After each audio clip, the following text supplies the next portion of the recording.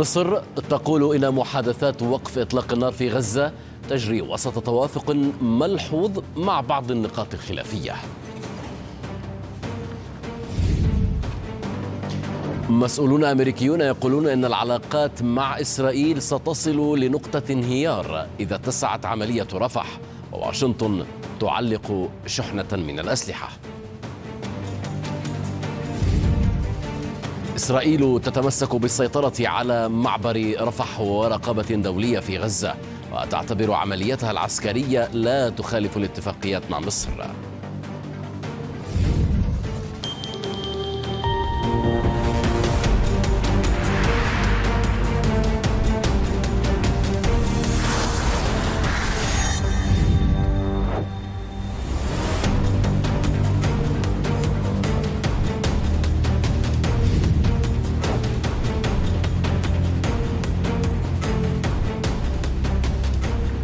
مرحبا بكم مشاهدينا إلى هذه الجولة الإخبارية التي تمتد على مدار ساعتين أقدمها لكم بصير شتيه. اذا إلى المربع الأول عادت المفاوضات بين حماس وإسرائيل بشأن تبادل الأسرى والتوصل إلى وقف لإطلاق النار في القطاع. إذ أكدت وسائل إعلام مصرية نقلا عن مصدر رفيع المستوى استمرار مفاوضات هدنة غزة في القاهرة بحضور الوفود القطرية والأمريكية وحركة حماس. وأضافت, وأضافت المصادر أن المباحثات مستمرة وسط توافق ملحوظ إلى جانب وجود بعض النقاط الخلافية. لكن المصادر أكدت استمرار الجهود المصرية الحثيثة للحفاظ على المسار التفاوضي. وشدد الوفد الأمني المصري لكافة الأطراف المشاركة في مفاوضات القاهرة على خطورة التصعيد وعدم الالتزام بالمسار التفاوضي. هذا واعتبر الناطق باسم رئيس الوزراء الإسرائيلي أوفير جندلمان أن العملية في رفح لا تخالف عملية السلام مع مصر مضيفا أن حماس هي من ترفض حتى الآن جميع المقترحات التي قدمها الوسطاء وأن المقترح الذي تقدمت به بعيد جدا. عن موقف إسرائيل. نحن نؤكد على أن هذه العملية لا تخالف معاهدة السلام بين البلدين على الإطلاق بل هي تأتي في إطار الجهود لضرب الإرهاب ولتعزيز الأمن والاستقرار في هذه المنطقة من خلال طرفي حدودها. أما المفاوضات التي تجرى من أجل الإفراج عن مخطوفين فكما أسلفنا وأوضحنا المقترح الحمساوي بعيد جدا عن ثوابتنا ومواقفنا الحيوية. وفد إسرائيلي زار القاهرة من أجل بحث التفاصيل ولكن للأمانة يجب التذكير بأن حماس رفضت حتى الآن جميع المقترحات التي قدمها الوسطاء من أجل التواصل إلى الصفقة وفي تصريحات إلى الحدث اعتبر الوزير المصري السابق وأستاذ القانون وعضو هيئة الدفاع في قضية طابة الدكتور مفيد شهاب أن اقتحام إسرائيل معبر رفح من الجانب الفلسطيني والدخول والخروج من محور من محور فيلادلفي هو إخلال ومخالفة لاتفاقية السلام لأنها تمت دون التنسيق مع القاهرة معتبرا أن ما حدث يمثل تهديدا غير مباشر لمصر كما أكد شهاب للحدث أن الجيش المصري لم يتحرك تتحرك لأن العملية تمت خارج الحدود المصرية وعلى أراض فلسطينية مؤكدا أن القاهرة لن تقبل أو تسمح بأي اقتراب أو اعتداء إسرائيلي على الأراضي المصرية.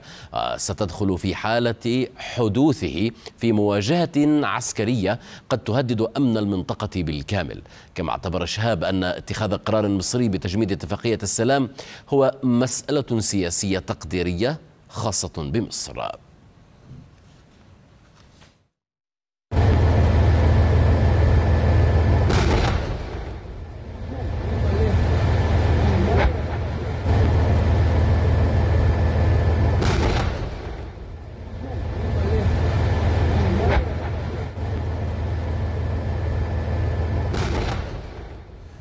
ذكر موقع أكسيوس أن مسؤولين إسرائيليين حذروا نظراءهم الأمريكيين من أن قرار واشنطن بتعليق بعض شحنات الأسلحة إلى إسرائيل قد يقوض مفاوضات الرهائن. وأضاف الموقع أن واشنطن حذرت من اتساع العملية العسكرية الإسرائيلية في رفح والتي ستكون بمثابة نقطة انهيار للعلاقات الأمريكية الإسرائيلية على حد وصف المسؤولين.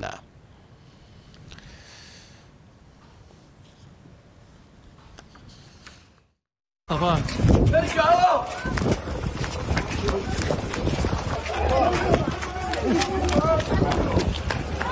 ابعد ابعد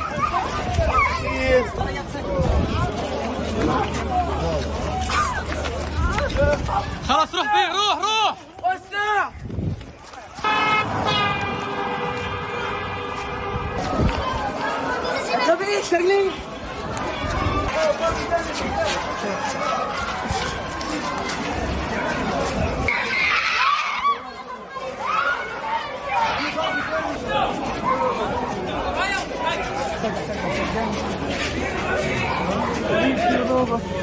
Wait, wait. أصدر رئيس لجنة الشؤون الخارجية بمجلس النواب الأمريكي مايكل ماكول ورئيس لجنة القوات المسلحة بمجلس النواب مايك روجرز البيان التالي بشأن الأخبار التي تفيد بأن إدارة بايدن تحجب شحنات الأسلحة إلى إسرائيل. نشعر بالفزع لأن الإدارة أوقفت شحنات الأسلحة الحيوية إلى إسرائيل وأن حجب الأسلحة عن إسرائيل يضعف قوة الردع الإسرائيلية ضد إيران ووكلائها مثل حماس وحزب الله. تم اتخاذ هذا القرار السياسي الكارثي سرا وتم إخفاؤه عمدا عن الكونغرس والشعب الأمريكي.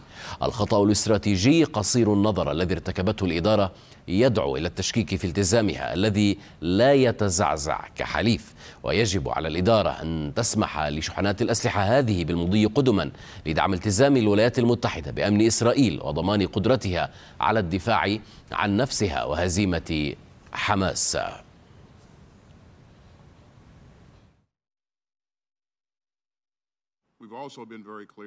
لقد كنا واضحين للغاية منذ البداية وهو أنه لا ينبغي لإسرائيل أن تشن هجوما كبيرا على رفح دون مراعاة وحمايه المدنيين الموجودين في ساحة المعركة تلك مرة أخرى. وأثناء قيامنا بتقييم الوضع أوقفنا مؤقتا شحنة واحدة من الذخائر ذات الحمولة العالية. كما أننا لم نتخذ قرارا نهائيا بشأن كيفية المضي قدما مع هذه الشحنة. قال المتحدث باسم الخارجية الإسرائيلية إن قرار إدارة بايدن إرجاء بيع شحنتي أسلحة إلى إسرائيل ليس تراجعا من واشنطن عن دعمها لها وإنما يعبر فقط عن خلاف بسيط مع الخط السياسي الذي ينتهجه رئيس الوزراء بنيامين نتنياهو مضيفا أن السياسة الأمريكية تجاه إسرائيل لم تتغير. هذا وشدد رئيس الوزراء الإسرائيلي الأسبق إيهود أولمرت للحدث على أن العملية العسكرية في رفح لن تخدم الهدف الرئيسي المتمثل باستعادة الرهائن. وصفا العملية العسكرية في رفح بالنصر المصطنع الذي اختارته حكومة نتنياهو على حد قوله. ما نحتاجه الآن هو استعادة الرهائن لا نعتقد بأن غزو رفح سيحقق هدفنا في استعادة الرهائن. ففي نهاية الأمر هذا النصر المصطنع في رفح سيجعلنا نفقد جميع الرهائن. فالعمل العسكري وحده لن يؤدي لاستعادتهم. يجب أن نعلن بأننا مستعدون لإيقاف الحرب لاستعادة الرهائن. الأحياء منهم والأموات. لدينا الحق في الدفاع عن أنفسنا وهذا لا يعني القضاء على الدولة الفلسطينية. يجب أن تكون هناك دولة فلسطينية في الأراضي التي احتلتها إسرائيل. وهذا ما عرضته على محمود عباس ونعرفها جيدا. والتي تقوم على دولة فلسطينية تقع داخل حدود 67 وتكون القدس الشرقية عاصمة لها. خطة السلام التي عرضتها في 2008 تتضمن إدارة القدس بهيئة مشتركة copy.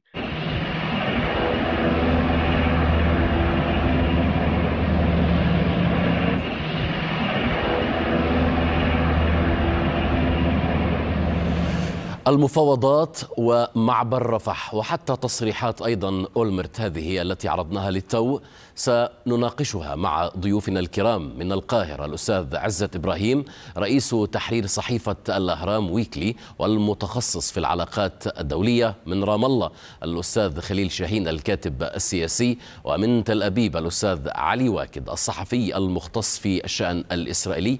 أرحب بكم جميعا على شاشة الحدث. أبدأ معك أستاذ عزت فيما يتعلق بالمفاوضات الآن الجارية في القاهرة. هل نحن وسط تفاؤل أم تشاؤم إن صح التعبير أهلا بحضرتك والسادة المشاهدين أهلاً بيك. وضيوفك الكرام أعتقد إنه نلحظ بوادر لتحرك إيجابي وبدايه لحلحلة حقيقية في الساعات الأخيرة خاصة بعد إشارات من حركة حماس على إسقاط بعض الاعتراضات وخاصة ما يتعلق بالفيتو الذي كان موضوعا بشأن الإطلاق سراح الأسرى. هناك في التفاصيل أمور كثيرة بالتأكيد لكن النهج المتدرج في العرض المصري والمشروع المصري أعتقد أنه ربما يتيح له فرصة لتمريره في حالة أنه لو كان هناك مساندة من جانب الولايات المتحدة على وجه التحديد لإقناع حكومة نتنياهو بالتخلي عن اللهجة المتشددة والدخول في معادلة صفرية في مواجهته لحركة حماس في منطقة رفح الفلسطينية وأيضا أن تبدي حماس قدر أكبر من المرونة. لأن الأجواء مشتعلة ومصر حذرت من أنه هناك هذه فرصة وربما تكون فرصة أخيرة ولن يكون بمقدور أحد أن يحرك الأمور من جديد مرة أخرى لو فشل هذا المشروع في مرونة حماس هذا أمر مهم. بين نعم. الأطراف أريد, أريد هنا أن أسأل الأستاذ خليل شاهين نعم أستاذ خليل مرونة حماس هل يجب عليها أن تقدم مرونة أكثر؟ وهي تقول وفقا لبياناتها بأنها قدمت تنازلات ومرونة أكثر من المعتاد.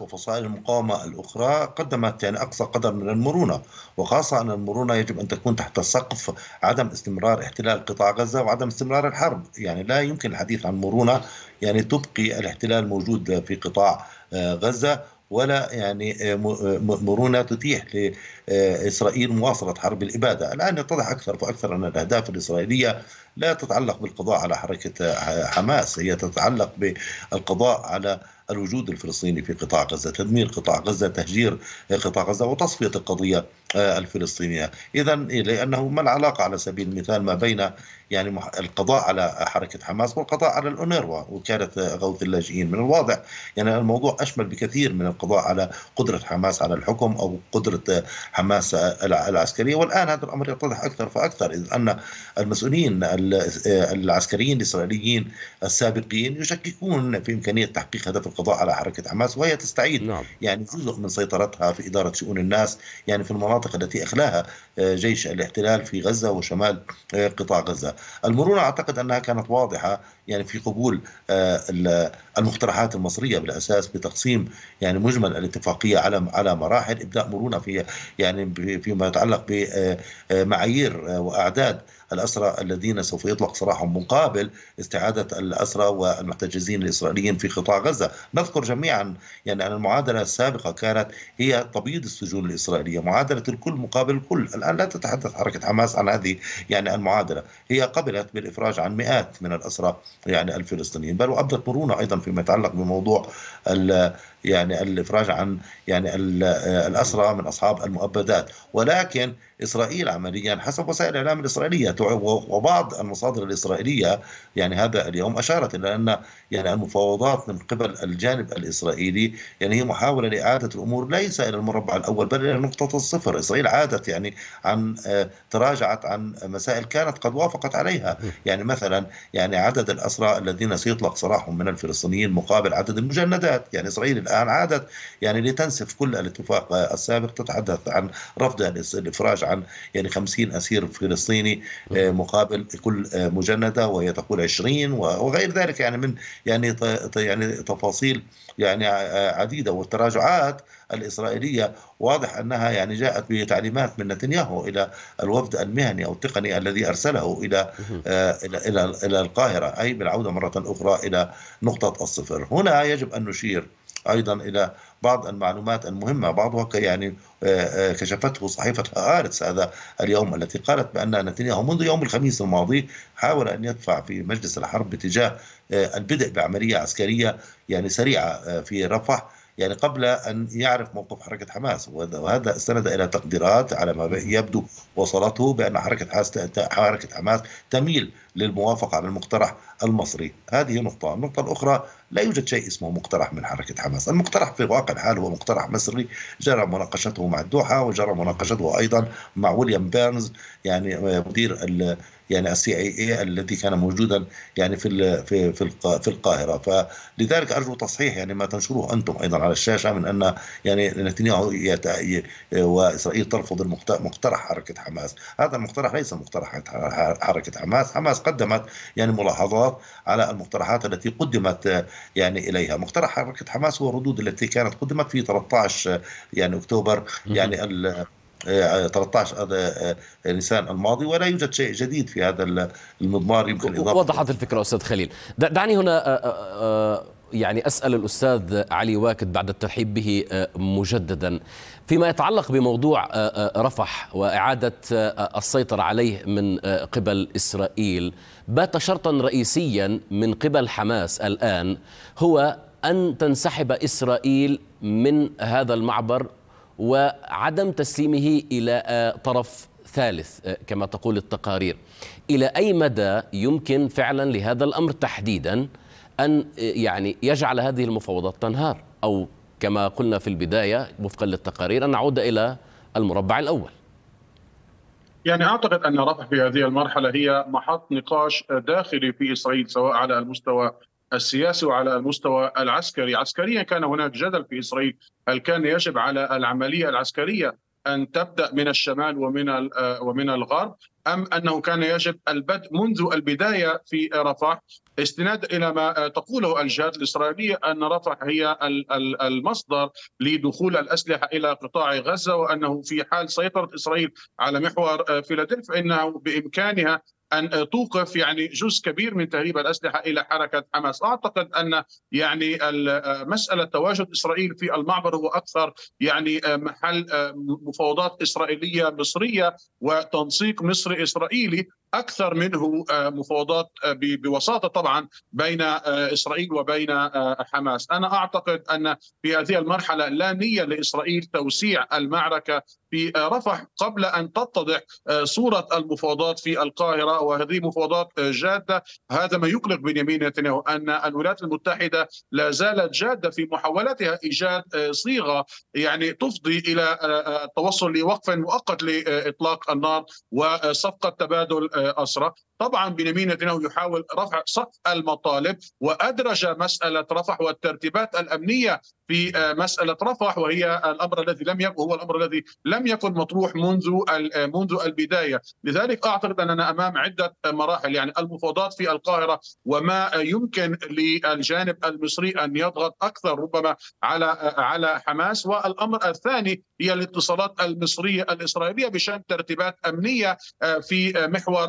فيلادلفيا. وعلى الحدود الفلسطينية المصرية بين قطاع غزة وبين وبين مصر، أنا أعتقد أنه لو تم التوصل إلى نوع من الترتيبات تضمن إسرائيل سواء بواسطة طرف جهة آه، آه، ثالثة شركة أمريكية شركة بريطانية أو آه، قوى دولية يمكن في هذه الحالة لإسرائيل أن يعني تبدي مرونة أكبر ويمكن لبنيامين نتنياهو أن يقول لشركائه المتطرفين يعني لنتعاون في مسألة الصفقة ولنتفهم الضغط الأمريكي خاصة وأن الولايات المتحدة يعني تبدو جادة على الأقل في التنويع فإنه يمكن لها أن تستخدم ورقة تسليح إسرائيل. أنا لا أقول أن يعني مسألة وقع التسليح هو تحصيل حاصل لا يعني هي ربما إشارة من الولايات المتحدة أن هذه الورقة مطروحة على الطاولة. أعتقد كما قلت أننا ننتظر التفاهمات الإسرائيلية المصرية نعم. بشأن الترتيبات في محور آه، فيلادلفي قبل أن تتضح الصورة أكثر. نعم أعود إليك آه، آه، أستاذ عزت فيما يتعلق بهذه التحركات الإسرائيلية في رفح تحديدا يعني وكما يعني ذكر لنا للحدث الأستاذ يعني أستاذ القانون الدولي وعضو أيضا هيئة الدفاع في قضايا طابة الدكتور مفيد شهاب أن ما حدث هو إخلال في اتفاقية السلام بين الدولتين. إلى أي مدى هذا الأمر يؤثر؟ وما الذي على مصر أن تفعله حيال هذا الأمر؟ يعني في اعتقادي إن مصر تتعامل بتروي وبهدوء شديد مع هذه الأمور لأنه المفاوض المصري والدور المصري في المفاوضات هو دور حيوي ودور لا يمكن الاستغناء عنه. فبالتالي مصر يعني تحاول أن تكون الطرف الأكثر عقلانية أمام هذا الجنون الذي يخرج من تل أبيب. مسألة أنه المعاهدة وما يتردد في الأيام الأخيرة أعتقد أنه إسرائيل أدركت بسرعة أنه ما فعلته من دخول سريع ثم خروج سريع من ممر فيلادلفي حسب ما تردد في الأنباء. كان ذلك بهدف أنه عدم إثارة الجانب المصري وقبل أن يبدي الجانب المصري الاعتراض على ذلك. في الجانب الآخر أيضا المعاهدة تشير بشكل واضح إلى أن كل طرف لا يجب أن يشكل أي تهديد غير مباشر على الطرف الآخر في المناطق الحدودية والملحق العسكري الخاص بالمعاهدة يشير إلى أنه الدفع بأعداد معينة من الكتائب لابد أن يكون بالتوافق. واعتقد من هذا السبب إسرائيل تصر على إنها مسألة تقوم بعملية محدودة في القطاع وفي منطقة شرق رفح وفي منطقة المعبر التي تتهم حركة حماس بأنها تأوي أعداد من عناصر الحركة في منازل قريبة من المعبر. بالتالي بأرى أنه من مصلحة إسرائيل أن تسير في طريق التوافق فيما يخص المفاوضات القائمة. مصر لديها رؤية واضحة فيما يخص الترتيبات ما بعد وقف إطلاق النار. مصر تأخذ الأمور بشكل متدرج من الهدنة إلى وقف إطلاق النار مؤقت ثم إلى وقف إطلاق نار دائم وهذه أيضا من النقاط المحل الخلاف. لكن في مسألة وقف إطلاق النار الدائم هناك ترتيبات في أعتقد أنها في المرحلة الثالثة ستخص كافة هذه الأمور منها معبر رفح وأعتقد إنه الطرح المصري يقوم بالأساس على مسألة أن تعود السلطة الفلسطينية وتكون السلطة الفلسطينية صاحبة الإدارة في المعبر مثلما هو الحال في الوضع قبل استيلاء حماس على السلطة في القطاع. لكن أنا الا تعتقد بأن هذا الأمر جدا يجب أن سي سيعيد يعني أو سيزيد من الخلاف بين السلطة وحماس. أعتقد إنه حماس لابد أن تدرك الواقع الآن أنها قبول مسألة تحولها إلى حزب سياسي وإلى حركة سياسية في المقام الأول حتى يمكنها أن تتعامل مع الواقع على الأرض الآن. هناك رفض ليس فقط إسرائيلي ولكن أمريكي وغربي بشكل عام لمسألة إنه استمرار الوضع على ما هو عليه في قطاع غزة. لا نتحدث عن إبادة حماس أو محو حماس ولكن نتحدث عن التعامل بشكل عقلاني أكثر فيما يتعلق بالترتيبات السياسية في مرحلة تتطلب العقلانية السياسية إلى درجة كبيرة في التعامل مع الأمور ولن لن تعود الأمور إلى سابق عهدها. هذه هي الحقيقة التي يجب أن يتعامل معها كل الأطراف وبالتالي الترتيبات فيما يخص التحول السياسي والوصول إلى توافق حول الوصولا إلى حل الدولتين أو حل الدولة الفلسطينية أعتقد إنه مسألة حيوية جدا أن يدركها كافة الأطراف. نعم. فيما يتعلق أستاذ خليل بهذه النقطة ولربما ستكون نقطة حساسة يعني في حال طبعا انسحبت إسرائيل كما تقول هي من المعبر. الآن الخلاف لربما سيبقى من سيستلم هذا المعبر؟ السلطة أم حماس أم السلطة وحماس. يعني في تصريحات منذ قليل لمحمود مرداوي القيادي في حماس عندما سئل في حال هل ستقبلون في حال عادة السلطة وهي من استلمت المعبر لم يجب عن هذا السؤال يعني بوضوح. يعني كيف يمكن قراءة هذا الأمر إن صح التعبير؟ يعني أولا من حيث المبدأ لا أعتقد أن السلطة الفلسطينية يمكن أن تقبل أن تعود إلى معبر رفح أو غيره على ظهر الدبابات الإسرائيلية. هذا يعني موضوع محسوم لأن دعوة السلطة الفلسطينية لأن تدخل معبر رفح من بين الدبابات الإسرائيلية وتستلمه. هذه دعوة لانتحار السلطة الفلسطينية أمام شعبها ولذلك لا أعتقد أن هذا الأمر يعني مقبول. وقد صدرت بعض التصريحات من مسؤولين من السلطة الفلسطينية يعني تتماشى مع ما أقوله أنا آه الآن. السلطة الفلسطينية يمكن أن تعود إلى استلام يعني معبر رفح وكل قطاع غزة في إطار توافقات فلسطينية داخلية قائمة على حوار وخاصة هذا الحوار رعته القاهرة لفترة ولسنوات طويلة ويتضمن حلول لكل شيء بما في ذلك موضوع المعابر. وأشير هنا إلى أن السلطة الفلسطينية موجودة على المعابر الأخرى على حاجز بيت حنون إيرز. السلطة الفلسطينية هي الخط الأول الموجود في الحاجز الأول للتعامل مع الإسرائيليين في حاجز إيرز. وكذلك الحال فيما يتعلق بمعبر كرم أبو سالم قبل أن تندلع الحرب. ولذلك فإن موظفي السلطة إدارة المعابر التابعين للسلطة هم موجودين على الأقل على معبرين كرم أبو سالم وعلى معبر يعني إيرز في الشمال. أما معبر رفح فهو قضية مختلفة. في العام 2005 جرى توافق وتوصل إلى اتفاقية المعابر وهي السلطة الفلسطينية هي طرف فيها وعلى إسرائيل أن تلتزم يعني بما يعني تم التوافق عليه بهذا الخصوص. وهذه الاتفاقية لا تشير على الإطلاق لا إلى يعني مراقبة أمريكية ولا إلى شركة أمريكية ولا غير ذلك. هي تشير إلى مراقبة أوروبية. إضافة إلى موضوع التفتيش الأمني الذي كان يفترض أن يكون من صالح يعني إسرائيل. إذا كان هناك من شركة أمريكية سوف تأتي فأنا أفترض أن هذه الشركة الأمريكية إذا كانت ستقوم بالتفتيش ستكون في الأراضي المصرية ولذلك على مصر أن تقدم يعني آه، موقفا يعني فيما يتعلق بقبولها بأن يكون هناك شركة أمنية آه، أمريكية أو غير أمريكية موجودة يعني على الجانب المصري من الحدود. أما في الجانب الفلسطيني فأنا لا أعتقد يعني أنه سيكون هناك قوات أمريكية أو شركة أمريكية أو موظفين غير يعني فلسطينيين وهذا أمر يكاد يكون مستحيل. هنا لابد من الإشارة إلى أن قضية إدارة معبر رفح ليست قضية أمنية بمعنى ليست أنك أن تحضر يعني شركة آه، أمنية أو غير أمنية وتقوم بمراقبة البضائع لأن معبر رفح ليس معبر بضائع أصلا هو معبر مخصص لحركة انتقال الأفراد ولكن الظروف يعني أجبرت الكل بما في ذلك مصر على استخدام هذا المعبر لإدخال المساعدات.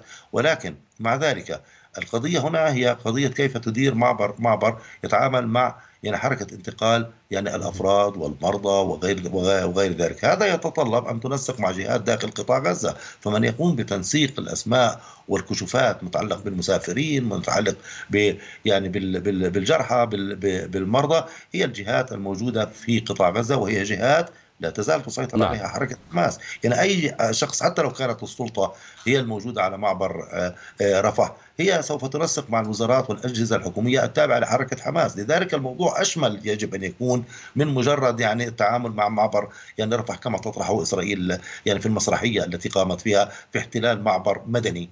يعني معبر مدني يبعد 3 كيلومتر عن مدينة رفح يعني اسرائيل لم تدخل إلى مدينة رفح حتى الآن يعني حتى الآن.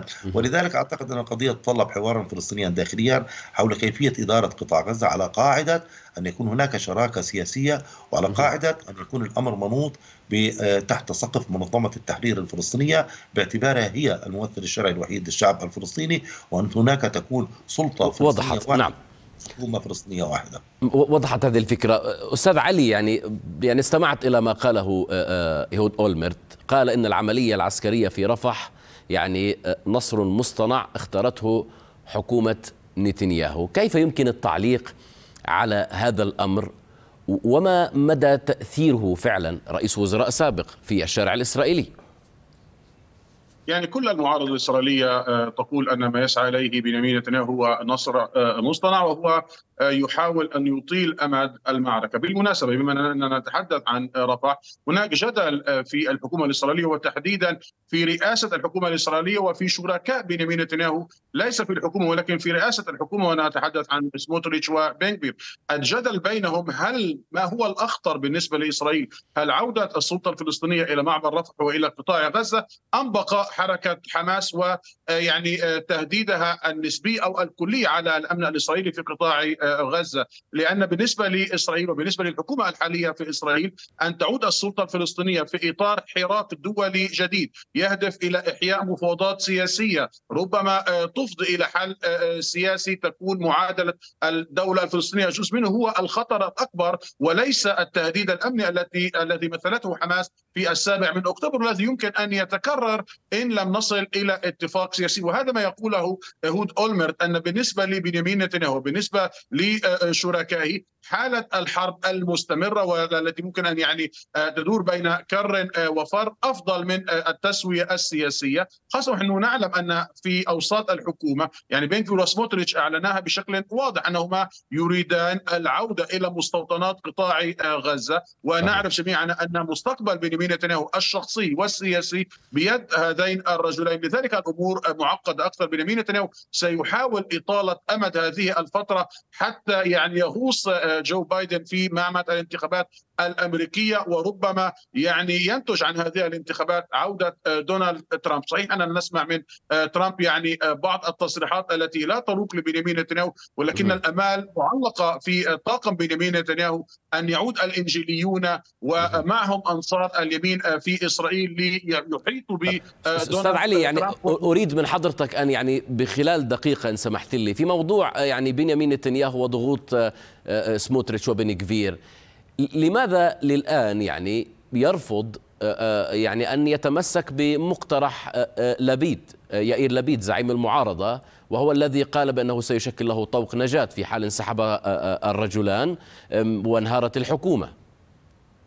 بداية لأن لبيد يشترط هذا الطوق بتحديد موعد لانتخابات مبكرة وكل استطاعات الرأي حتى الآن ليست بصالح بنيامين نتنياهو. الأمر الثاني أن بنيامين نتنياهو أيديولوجيا وفكريا أقرب لسموتريتش ولبنغفير ومسألة حسب الصراع الإسرائيلي الفلسطيني وسلام إسرائيلي عربي دون أن تدفع إسرائيل بالعملة بالعملة الفلسطينية. بالإضافة إلى مسألة يعني نتناساها في الفترة الأخيرة وهي محاكمة بنيامين نتنياهو. هذه المحاكمة التي يمكن أن تنتهي الإطاحة ببنيامين نتنياهو وربما الزج به بالسجن وشركائه الحاليون يعني لا يبالون في فساد نتنياهو بقدر ما يبالون بخطر. الخطر من ناحيتهم طبعا أن يكون هنا هناك يعني حراك دولي دبلوماسي وتعود المفاوضات وبالتالي يعني كل ما بنى عليه سموتريتش وبنكفير مسألة حكومة اليمين الكاملة والحلم كما قال سموتريتش في بداية هذه الحكومة العودة إلى فكرة ليس من النهر إلى البحر ولكن من النيل إلى الفرات. أن تعود وتكون مطروحة على طاولة العمل السياسي في إسرائيل نعم أعود إلى الأستاذ عزت فيما يتعلق بنقطة أمريكا الحليف الرئيسي لإسرائيل والتي وفقا للتقارير العلاقة فيما بين تل أبيب وواشنطن ليست على ما يرام، لكن إن صح التعبير فيما يتعلق بأنها ستنهار هذه العلاقات وفقا لمسؤولين أمريكيين في حال اتسعت عملية رفح. هل فعلا هذا الأمر يعني مطروح وارد أن تنهار هذه العلاقات؟ يعني أعتقد إنه تصريح مبالغ فيه من صاحب التصريح لأنه كل مسؤولون أمريكيون لاكسيوس فقط للتوضيح يعني. في هذا الشأن. نعم. آه السلوك السياسي للبيت الأبيض وأيضا لوزير الدفاع الأمريكي في تصريحاته اليوم هم جميعا متفقون على آه على الأهداف التي وضعها بنيامين نتنياهو لعملية رفح ويؤيدون هذه العملية ولكن لا يؤيدون اتساع العملية أو الدخول في الكتل مناطق الكتل السكانية.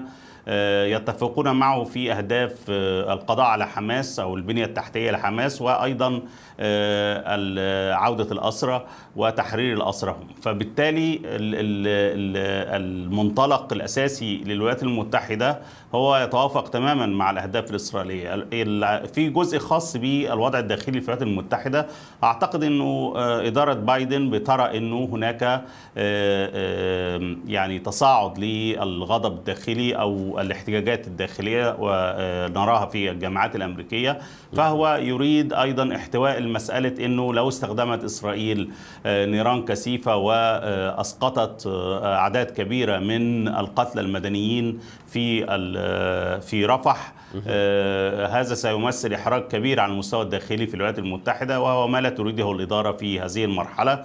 تريد احتواء الموقف بحيث أنه تقوم إسرائيل بعملية منضبطة وتحقق ما تسعى إليه في فترة زمنية طويلة هذا ما يبدو من التصريحات الأمريكية.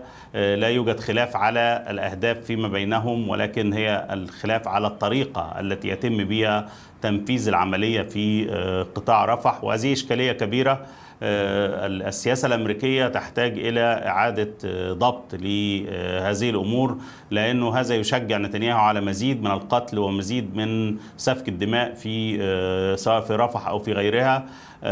ولا وليس في مصلحة الولايات المتحدة تشجيع هذا السلوك في هذه المرحلة.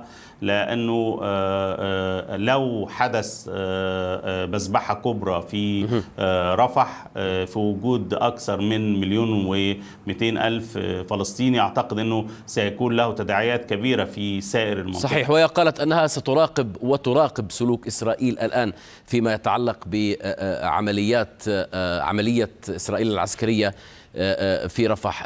السؤال ذاته أستاذ خليل يعني فيما يتعلق بهذه التحركات الأمريكية وتعليق الشحنات بعض الشحنات شحنات الأسلحة إلى إسرائيل كيف تقرأ هذه الخطوة؟ وفيما يتعلق بالتهديد والتحذير من انهيار العلاقات بين الطرفين. يعني أنا أتفق مع ما ذكره الأستاذ عزت فيما يتعلق بالتوافق الأمريكي الإسرائيلي على الأهداف العامة على الأقل المعلنة يعني لهذه يعني الحرب. تحت هذا السقف هناك يعني خلافات وقد أقر الرئيس بايدن يوم أمس بأن هناك خلافات لا تصل إلى حد يعني المس بالدعم الأمريكي الذي لا يتزعزع لإسرائيل، لذلك يعني حتى في ظل الحديث عن يعني وقف شحنه هو يجري الحديث عن 3500 قذيفة، يعني إسرائيل أرسلت الولايات المتحدة أرسلت حتى حتى الآن حسب ما يعني ما ينشر في الإعلام الإسرائيلي أكثر من 360 طائرة من المساعدات العسكرية لإسرائيل أكثر من 60 سفينة مساعدات لإسرائيل. يعني ولذلك يعني لا أعتقد أن يعني يعني تأخير شحنة يعني من 3500 قذيفة يمكن أن تؤثر على مسار يعني الحرب. قلق إسرائيل هو أن يعني تستخدم الولايات ضغطا أكبر يعني أن توسع ذلك وخاصة في ظل يعني مطالبة الكونغرس بتقرير من الإدارة الأمريكية حول يعني الانتهاكات الإسرائيلية أن تضطر تحت هذه الوطأة إلى توسيع نطاق تأخير على الأقل بعض الشحنات القادمة لأن إسرائيل وصلتها يعني عشرات الآلاف يعني في يعني في قبل أيام يعني من القذائف والمعدات من من الولايات المتحدة تكفيها يعني لاستمرار العملية يعني في في رفح. هذا جانب الجانب الآخر من القلق الإسرائيلي هو ما سمعناه هذه الليلة على سبيل المثال من أنباء تتحدث عن إمكانية أن تحذو بريطانيا حذو الولايات المتحدة فيما يتعلق بتصدير الأسلحة إلى إلى إسرائيل وأن يتم ينسحب ذلك على مواقف دول أخرى. لذلك هناك خشية يعني لدى إسرائيل ونشهد أن هناك يعني يعني مبادرات أو دعوات من داخل إسرائيل ومن الوزراء وتم تشكيل لجنة في السابق من أجل يعني الإنتاج الذخائر التي تحتاجها إسرائيل محليا بدل يعني الاعتماد على الولايات المتحدة أو غيرها من دول يعني العالم. لكن في المنحى العام في المنحى أعتقد أن ما يشجع نتنياهو على استمرار هذا التعنت هو الموقف الأمريكي، الولايات المتحدة يفترض أنها يعني وسيط أو تقدم نفسها كوسيط في من أجل التوصل لاتفاق لوقف إطلاق نار وتبادل يعني أسرى ولكنها عمليا تنطق بلسان إسرائيلي في الكثير من الأحيان عندما يعني في داخل الغرف يعني المغلقه المغلقة. ومن السذاجة الاعتقاد أن الولايات المتحدة يعني عندما تقدم مقترحات في إطار يعني المفاوضات لا تقوم بتنسيقها مسبقا مع يعني إسرائيل صحيح. وهي التي يعني يشارك يعني وزير خارجيتها ووزير دفاعها يعني بين فترة وأخرى في اجتماعات مجلس الحرب وضحت هذه الفكرة. أريد أن أستغل الدقيقتين المتبقيتين مع الأستاذ علي واكد. عذرني أستاذ خليل على مقاطعتك لكن هل فعلا ما طرحه الأستاذ خليل أستاذ علي هل يمكن أن تكون إسرائيل فعلا قلقة من ازدياد الضغوط الأمريكية خلال الأيام المقبلة أو خلال الفترة المقبلة؟ يعني أنا أعتقد أن الموقف الأمريكي غير واضح ومتذبذب. يعني الأستاذ عزت قال أن هناك توافق أو الأستاذ خليل قال أن هناك توافق بين إسرائيل وبين الولايات المتحدة بشأن ضرورة القضاء على حركة حماس، هذا من حيث المبدأ، ولكن من حيث ترجمته على الأرض هناك شكوك أمريكية، هل بالفعل إسرائيل قادرة على القضاء على حماس وهل هي تريد فعلا القضاء على حماس؟ يعني نحن نتحدث وقال الأستاذ خليل أن حماس عادت لتدير أمور حياة الناس في شمال قطاع غزة وفي مناطق من مدينة غزة أضيف على ذلك أيضا في منطقة خان يونس في بعض المناطق في في رفح. لذلك هناك يعني سمعنا هذه الليلة من عدة مصادر عسكرية إسرائيلية أنه ربما علينا أن نتوقع في الساعات القادمة عملية برية لا ندري محدودة أو واسعة في شمال القطاع وفي شرق مدينة غزة للحد من هذا التواجد لحركة حماس فوق الأرض. إسرائيل يعني تعتقد أن يعني الولايات المتحدة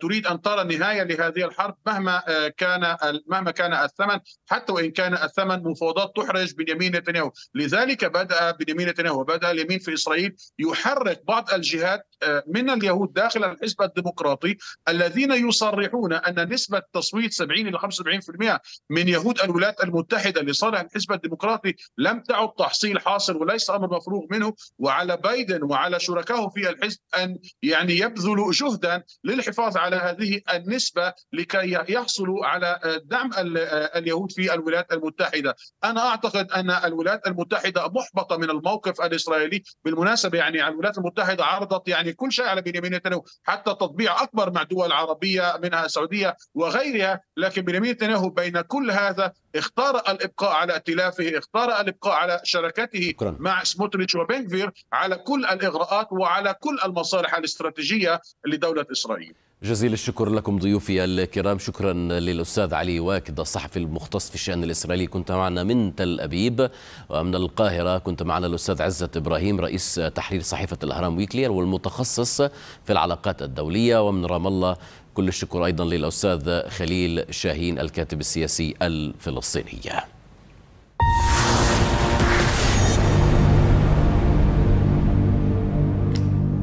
الجبهة بين لبنان وإسرائيل شهدت اليوم تصعيدا لافتا حيث شنت إسرائيل عشرات الغارات على بلدات وقرى حدودية.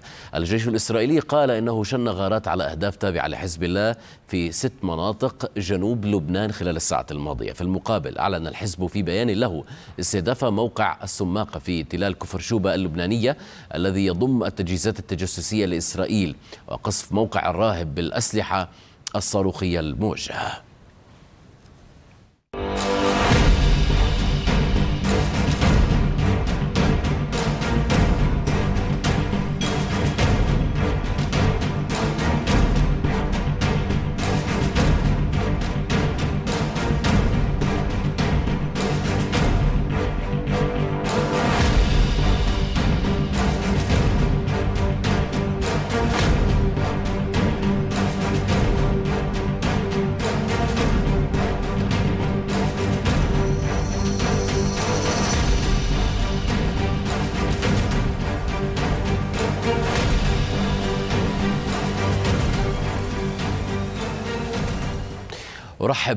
أرحب بضيفي من بيروت لمناقشة آخر التطورات فيما يتعلق بالملف اللبناني وأيضا التصعيد بين حزب الله وإسرائيل الكاتب الصحفي الأستاذ جورج شاهين. اسمح لي أستاذ جورج قبل أن نبدأ هذا النقاش أن أنوه بهذه العواجل التي تظهر تباعا على شاشتنا.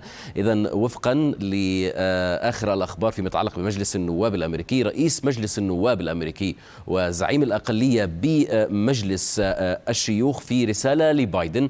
المساعدات العسكرية لإسرائيل أولوية ملحة. ويقولون أيضا قلقون من تقارير حول تعليق شحنات أسلحة إلى إسرائيل. إذا رئيس مجلس النواب الأمريكي في رسالة لبايدن قلقون من تقارير حول تعليق شحنات أسلحة إلى إسرائيل. ورحب بك مجددا أستاذ جورج. فيما يتعلق بما يحدث اليوم تحديدا أو ما حدث اليوم تصعيد لافت. هل يمكن القول بأن السباق بدأت به الحرب تفوز على الحل الدبلوماسي أو تسبق إن صح التعبير؟ الحل الدبلوماسي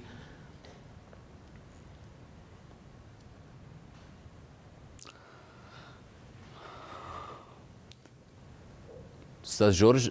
أول شيء شكرا شكرا على الاستضافة. أهلا ما بيك كان الصوت واضح ما كان الصوت واضح. إيه تفضل تفضل. شكرا على هذه الاستضافة. عزيزي السباق قائم على أشده بين كل الخيارات الدبلوماسية والعسكرية. ليس على المستوى اللبناني فقط إنما الجبهة اللبنانية هي جزء من الجبهة الكبيرة في المنطقة. شاء البعض بأن يربط لبنان بكل هذه الشبكات ووضعنا على خط تماس مع العدو الإسرائيلي بهذا الشكل. العنف أو القصف الإسرائيلي القاسي والعمليات العنيفة اليوم التي ميزت هذا النهار ليست عملية مفاجئة. نشهد آه، كل فترة نشهد مثل هذه العمليات وهي تعود بالمفهوم العسكري إلى ضربة ما نفذها أي من الطرفين.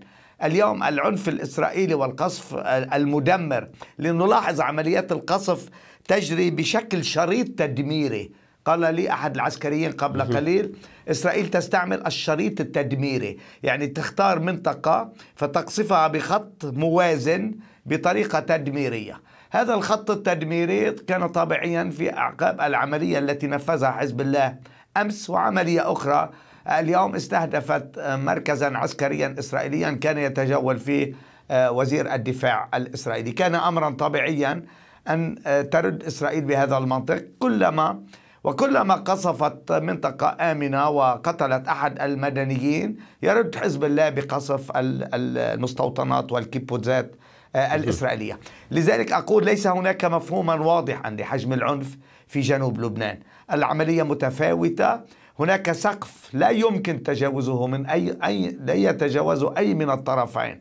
آه، عندما نقول توغلت إسرائيل وقصفت 100 كيلومتر في الأراضي اللبنانية أو بلغت نسبة ال 200 كيلومتر عندما تقصف بعلبك أو أو مناطق بعيدة عن الجنوب هناك تمييز بمفهوم قواعد الاشتباك. إن كان الهدف أمني فهو مبرر بالنسبة إلى الجانب الإسرائيلي. إن كان الهدف أمني يعني أن يستهدف مركزا لحزب الله أو قائدا فلسطينيا أو قائدا آه، لبنانيا. نعم.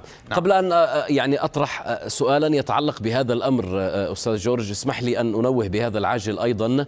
السيناتور الأمريكي بيرني ساندرز يقول بايدن محق تماما في وقف تسليم القنابل إلى حكومة نتنياهو. إذا السيناتور الأمريكي بيرني ساندرز يقول يقول بأن بايدن محق تماما في وقف تسليم القنابل إلى حكومة نتنياهو. وهذا يأتي بعد عاجل منذ قليل قرأناه وهو تصريح لرئيس مجلس النواب الأمريكي في رسالة إلى بايدن قلقون من تقارير حول تعليق شحنات أسلحة إلى إسرائيل. عودة إليك أستاذ جورج يعني نصائح غربية جولات أوروبية فرنسية هنا أقصد تحديدا إلى لبنان لكي يكون الحل الدبلوماسي أعلى من الحرب. هل يأخذ حزب الله؟ هذا السؤال مطروح دائما. هل يأخذ حزب الله بهذه النصائح ويجنب لبنان حربا لا يريد أن يدخل بها أصلا من الأساس. ولماذا يرفض فعلا هذه النصائح؟ عزيزي المشكلة أنه ليست قضية نصائح. هناك مشاريع يتم تبادلها بشكل حصري بين قيادة الثنائي الشيعي وبعض الوسطاء. آه، المبادرة الفرنسية في حالة ترنح خطيرة. جاءنا آه، وزير خارجية فرنسا نهاية نيسان آه، الماضي وقال لنا هناك ورقة جديدة سيطرحها. تبين أنها كانت في إسرائيل إبان وجودي في بيروت وهي تحمل بعض الملاحظات التي تلقاها الرئيس آه، الفرنسي في لقائه مع رئيس حكومة تصريف الأعمال وقائد الجيش العماد جوزيف عون في 19 أبريل الماضي. لكن الجواب الإسرائيلي وصل إلى الجانب الفرنسي وكان سيد سيجورني وزير خارجية فرنسا قد وصل إلى تل أبيب فاضطر الفرنسيون ليردوا لنا الورقة القديمة. يعني المبادرة الفرنسية التي منن الفرنسيون النفس بها. وانتظر اللبنانيون تعديلات أساسية. قال الجانب الفرنسي أنه سيأخذ برأي الجانب اللبناني بها. جاءت الورقة خالية من هذه الاقتراحات. فكان الرد اللبناني شبيها بالرد الذي آه، رفعه إلى الجانب الفرنسي في 15 آه، أيار آه، أذار, أذار الماضي. لا جديد بشأن المبادرة الفرنسية. هناك قلق من سقوط هذه المبادرة. هناك انزعاج فرنسي من الرد الإسرائيلي الذي رفض كل الاقتراحات اللبنانية الخاصة بمنطقة ال 1701 وآلية التطبيق. الإسرائيلي حتى هذه اللحظة يرفض البحث بموضوع ال B1 وهي النقطة الأخطر بشأن الترسيم البري لما لها من انعكاسات على الترسيم البحري لجهة الناقورة ولا يريد الإسرائيلي أن يناقش الوضع في مزارع شبعة وكفر شوبة طيب. لذلك كل الطروحات التي حملها الفرنسيون حتى اليوم غير غير مؤاتية لأن تفتح ثغرة في هذا الجدار السميك بشأن المفاوضات. نعم. لذلك كل شيء مجمد. نحن بانتظار نعي المبادرة الفرنسية. وإن لم ننعال سيكون لبنان بانتظار التحرك الأمريكي أو أي تحرك من أي عاصمة أخرى غير العاصمة الفرنسية. يعني ننتظر بأقل من دقيقة إن سمحت لي أستاذ جورج. لأن كل العراق هل يمكن فعلا لبنان. نعم. أن حزب الله يريد يعني أن يفاوض الأمريكيين أكثر من الفرنسيين؟ يعني حتى يكون مربحا له أكثر مثلا؟ بالطبيعي طبيعي عزيزي. طبيعي. سؤالك يحمل جوابا واضحا. السؤال يحمل جواب واضح. الجانب الأمريكي اليوم مقتنع من أي آه، مرحلة سابقة مع ما يطرحه الثنائي الشيعي وحزب الله؟ يعني عندما نقول حزب الله يعني الرئيس نبيه بري. حزب الله أوكل شأن المفاوضات صحيح. إلى الرئيس بري. كما قال لي أحدهم اليوم بكل اللغات التي يتقنها الرئيس بري ومع كل الوسطاء الذين يزورون لبنان. عزيزي في لبنان ليس هناك حكومة ولا وزارة خارجية ولا رئيس جمهورية. هناك ثنائي يتحكم باللعبة يتحكم بالردود. رئيس الحكومة يتلقى الورقة الفرنسية فيحفظها. في أحد جواريره وينتظر رأي الرئيس بالرئيس. وأنا هنا السؤال يا أستاذ جورج يعني الكثيرون يسألون. البلد ليس بحاجة إلى رئيس أين تقف حكومة تصريف الأعمال من هذه التحذيرات ومن هذه من مخبة دخول لبنان في حرب جديدة مع إسرائيل وتوسعة هذه الحرب. على كل الأحوال اعذرني جدا على ضيق الوقت. كل الاحترام والشكر لك الأستاذ جورج شاهين الكاتب الصحفي من بيروت. اعذرني جدا على ضيق الوقت عزيزي. شكرا.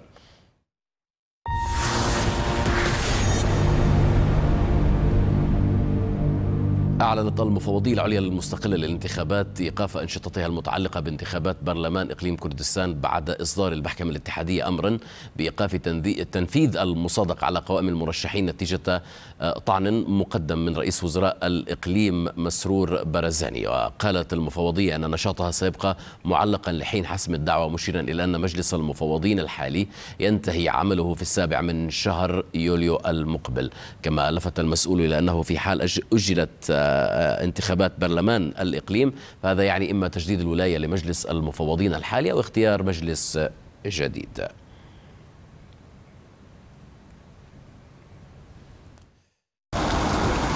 تأجيل الانتخابات لبرلمان إقليم كردستان المزمع إجراؤها في العاشر من حزيران يونيو القادم بات أمرا متوقعا وذلك بعد صدور الأمر الولائي من المحكمة الاتحادية العليا والمتضمن إيقاف تسجيل قوائم المرشحين والمصادقة عليها لبرلمان إقليم كردستان إلى حين النظر بالدعوى المقدمة من قبل مسرور بارزاني رئيس حكومة الإقليم إضافة إلى وظيفته. الاتحاد الوطني الكردستاني بزعامة بافل طالباني يراهن على حسم الدعوى من قبل المحكمة الاتحادية في أقرب وقت ممكن من أجل المضي في إجراء الانتخابات في موعدها المحدد. نحن في الاتحاد نراهن على أن يتم بعجالة حسم هذا الموضوع حتى تجري الانتخابات في أقرب وقت ممكن. رئيس إقليم كردستان نائب رئيس الحزب الديمقراطي الكردستاني نيجيرفان بارزاني قال في مؤتمر صحفي إنه يريد انتخابات خالية من المشاكل وتدعو إلى التوحد وليس إلى مزيد من التفرقة حسب قوله. لا يمكن أن تكون هناك انتخابات تساهم بمزيد من التفرقة ووظيفتي وسلطتي كرئيس الإقليم وواجبي يحتم علي حماية مصلحة إقليم كردستان. مراقبون وصفوا أمر المحكمة الاتحادية بأنه علق إجراءات مفوضية الانتخابات بسبب عدم توزيع المقاعد بشكل يتناسب مع العدد الكلي لسكان محافظات الإقليم. أعتقد بأنه الأمر الولاء الذي صدر هذا اليوم من المحكمة هو سيؤثر بشكل كبير على إجراء الانتخابات في موعدها في 10 6 وربما يضع هذا الموعد آه، شبه مستحيل في ظل الأجواء الحالية. بضعة أيام فقط على موعد انطلاق الحملات الانتخابية لسباق برلمان الإقليم ونحو شهرين على انتهاء عمر مفوضية الانتخابات في العراق. ومباحثات الفرقاء السياسيين العراقيين في الاتفاق على تشكيل مفوضية جديدة قد تستغرق وقتا طويلا. وبالتالي ربما يبقى الحال على ما هو عليه في إقليم كردستان من دون انتخابات حتى نهاية هذا العام. من أربيل أحمد الحمداني. الحدث. مشاهدينا نذكر بهذا العاجل الذي ظهر قبل قليل على شاشتنا وفقا لأمري البريطانية. تلقينا معلومات عن رؤية نشاط لطائرة مسيرة على بعد 58 ميلا بحريا جنوب شرقي عدن. مشاهدينا عد وألقاكم بعد دقائق قليلة لفتح ملفات أخرى في ساعتنا الثانية من هذه الجولة. إلى اللقاء.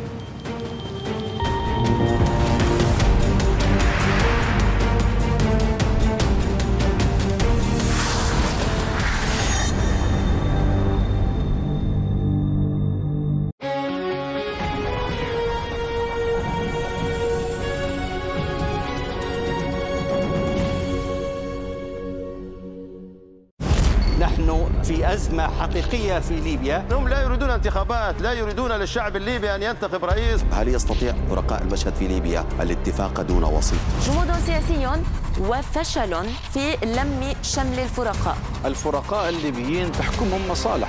حل للأزمة السياسية لا يبدو قريبا على الإطلاق. هل الحل كان بأن تتجه الأمم المتحدة بحل حكومة الدبابة؟ كل الأسام السياسية الموجودة في ليبيا تعمل بشرعية الأمر الواقع هل فوجئت باستقالة آه، باتيلي أم كان هذا الأمر متوقعا؟ أين الاجتماعات الليبية الليبية؟ الفشل الأول هو مسؤولية الأطراف الليبية لماذا يفشل الجميع في حل الملف الليبي ولماذا يهرب الجميع؟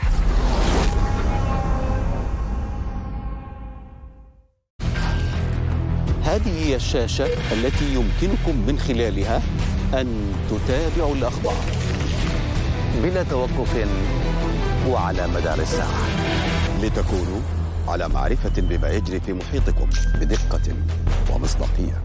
نناقش أهم الملفات ونطرح قضاياكم وقصصكم. ونسأل ونبحث ونتحرى.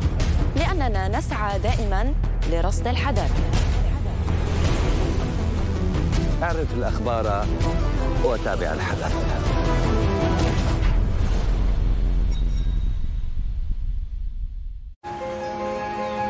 نتيجة الاضطهاد والصراعات والعنف. أكثر من 108 ملايين شخص أجبروا على الفرار من ديارهم في جميع أنحاء العالم. في أكثر من 135 دولة هربوا باحثين عن المأوى عن الغذاء والرعاية الطبية. فالضحايا بالآلاف والأرقام في تزايد والحكايات تختزل بين الصمود والبقاء The solution to this humanitarian tragedy is not humanitarian, it is political. كيف إحنا نعيش؟ كيف جاوبونا؟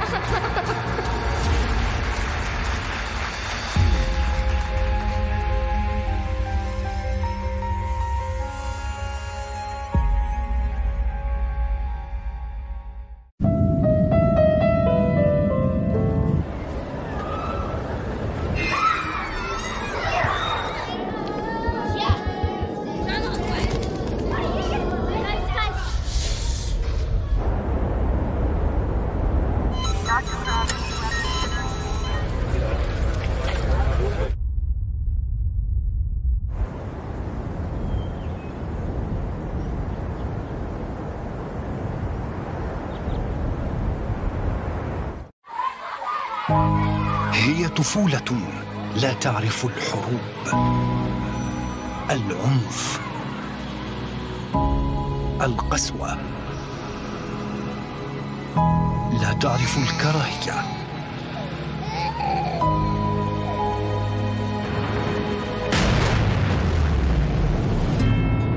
لكنها تدفع ثمن كل ذلك.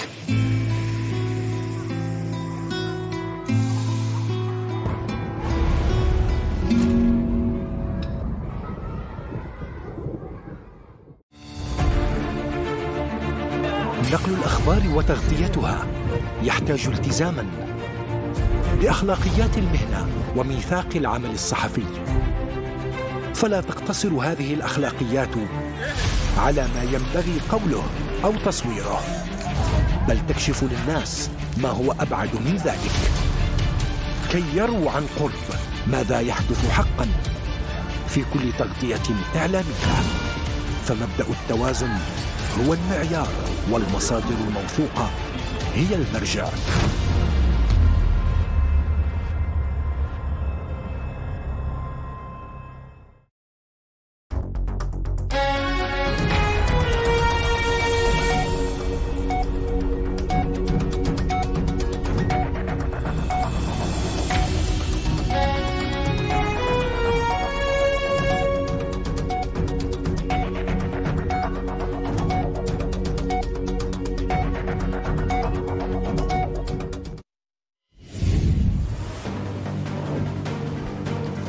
مصر تقول إن محادثات وقف النار في غزة تجري وسط توافق ملحوظ مع بعض النقاط الخلافية.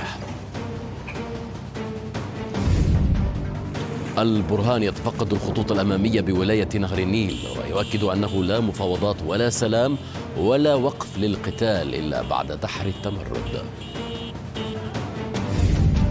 ثمانية وأربعون حزبا وحركة توقعوا في القاهرة على ميثاق السودان لفترة انتقالية جديدة وحوار وطني.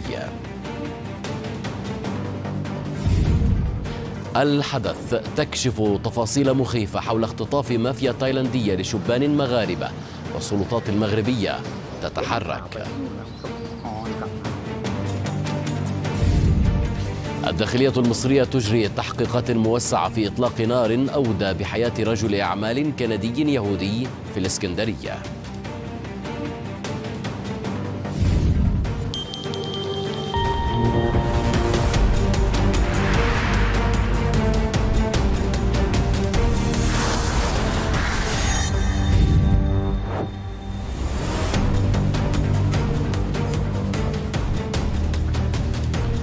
مرحبا بكم مشاهدينا الكرام في ساعتنا الثانية من جولتنا الإخبارية هذه حيث حذر مدير منظمة الصحة العالمية من أن كمية الوقود في مستشفيات جنوبي قطاع غزة تكفي لثلاثة أيام فقط. الوقود الذي كنا نتوقع السماح بدخوله إلى قطاع غزة اليوم لم يسمح له بالدخول وهذا يعني أنه ليس لدينا سوى ما يكفي من الوقود لتشغيل الخدمات الصحية في الجنوب لمدة ثلاثة أيام أخرى. وقد قامت منظمة الصحة العالمية بتخزين بعض الإمدادات مسبقا في غزة ولكن دون تدفق المزيد من المساعدات إلى غزة لا يمكننا الحفاظ على دعمنا الذي ينقذ حياة الكثير في المستشفيات.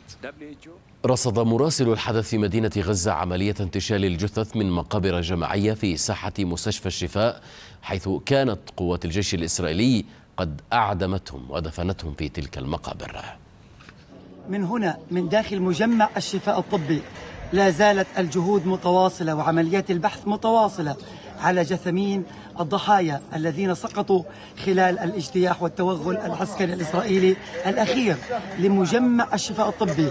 المواطنون وأيضا رجال الدفاع المدني ورجال الإسعاف والخدمات الطبية أثناء بحثهم وعمليات أيضا البحث المتواصلة تم انتشال العشرات من جثامين الشهداء والضحايا من داخل قبر جماعي في داخل ساحة مستشفى الشفاء. لعلكم تشاهدون بعض جثامين هذه الضحايا الذين تم العثور عليهم من قبل رجال الدفاع المدني وأيضا من قبل رجال الإسعاف ولا زالت هذه العمليات متواصلة عمليات البحث. في كل لحظة يتم العثور على جثمين للضحايا وأيضا جثث الضحايا وهم بأعمار مختلفة ولفئات مختلفة من المواطنين الذين كانوا بعضهم من النازحين وبعضهم من المرضى والجرحى والذين وجدوا في هذا القبر الجماعي. على الأقل تم انتشال يوم أمس نحو 30 من الضحايا وهذا اليوم حتى هذه اللحظة تم انتشال نحو 15 من الضحايا الذين هم بفئات عمرية مختلفة. وهذه الجثامين هي متحللة ومتعفنة بفعل وجودها في قبر جماعي واحد. بعضهم كان من المرضى ومن الجرحى ومن المصابين داخل مجمع الشفاء الطبي. لقناتي العربية والحدث خضر الزعنون غزة. أعلن الجيش الإسرائيلي مقتل قائد القوى البحرية التابعة لحماس أحمد علي في غارة إسرائيلية على غزة. نسقها الجيش والشباك معا. وأوضح الناطق باسم الجيش الإسرائيلي أفيخاي أدرعي في بيان إن أحمد علي قاد أنشطة ضد إسرائيل وهجمات ضد القوات العاملة في القطاع كما عمل في الأسابيع الأخيرة على تعزيز الهجمات ضد الجيش الإسرائيلي في ممر نتسريم وسط القطاع. ما نقوم به هو انتشال عدد من الشهداء آه، المتحللة الجثث المتحللة آه، غير معروفة نهائيا آه، وذلك لصعود لوجود جثث ليس لها رؤوس وجثث معفنة ومتحللة من شدة التعذيب ومن شدة ما قامت به قوات الاحتلال من ارتكاب مجازر إبادة جماعية بحق المواطنين. اليوم طبعا تم إخراج عشرات الجثث من هذا المكان مجمع الشفاء الطبي الجثث هي عبارة عن جثث لأطفال ونساء ورجال وأغلبهم مرضى. كانوا يركضوا على سرير المرض وكانوا كانوا مرضى في المستشفى ومنع عنهم العلاج ومنع عنهم العناية الطبية ومن ثم تم استشهادهم أو تم تصفيتهم وتم دفنهم بشكل جماعي. مجمع الشفاء الطبي من مساحة واسعة وكل زاوية توجد فيها مقبرة جماعية. طبعا يتم كان فحر حفرة كبيرة ومن ثم وضع الجثث بشكل جماعي وإدخال التراب عليها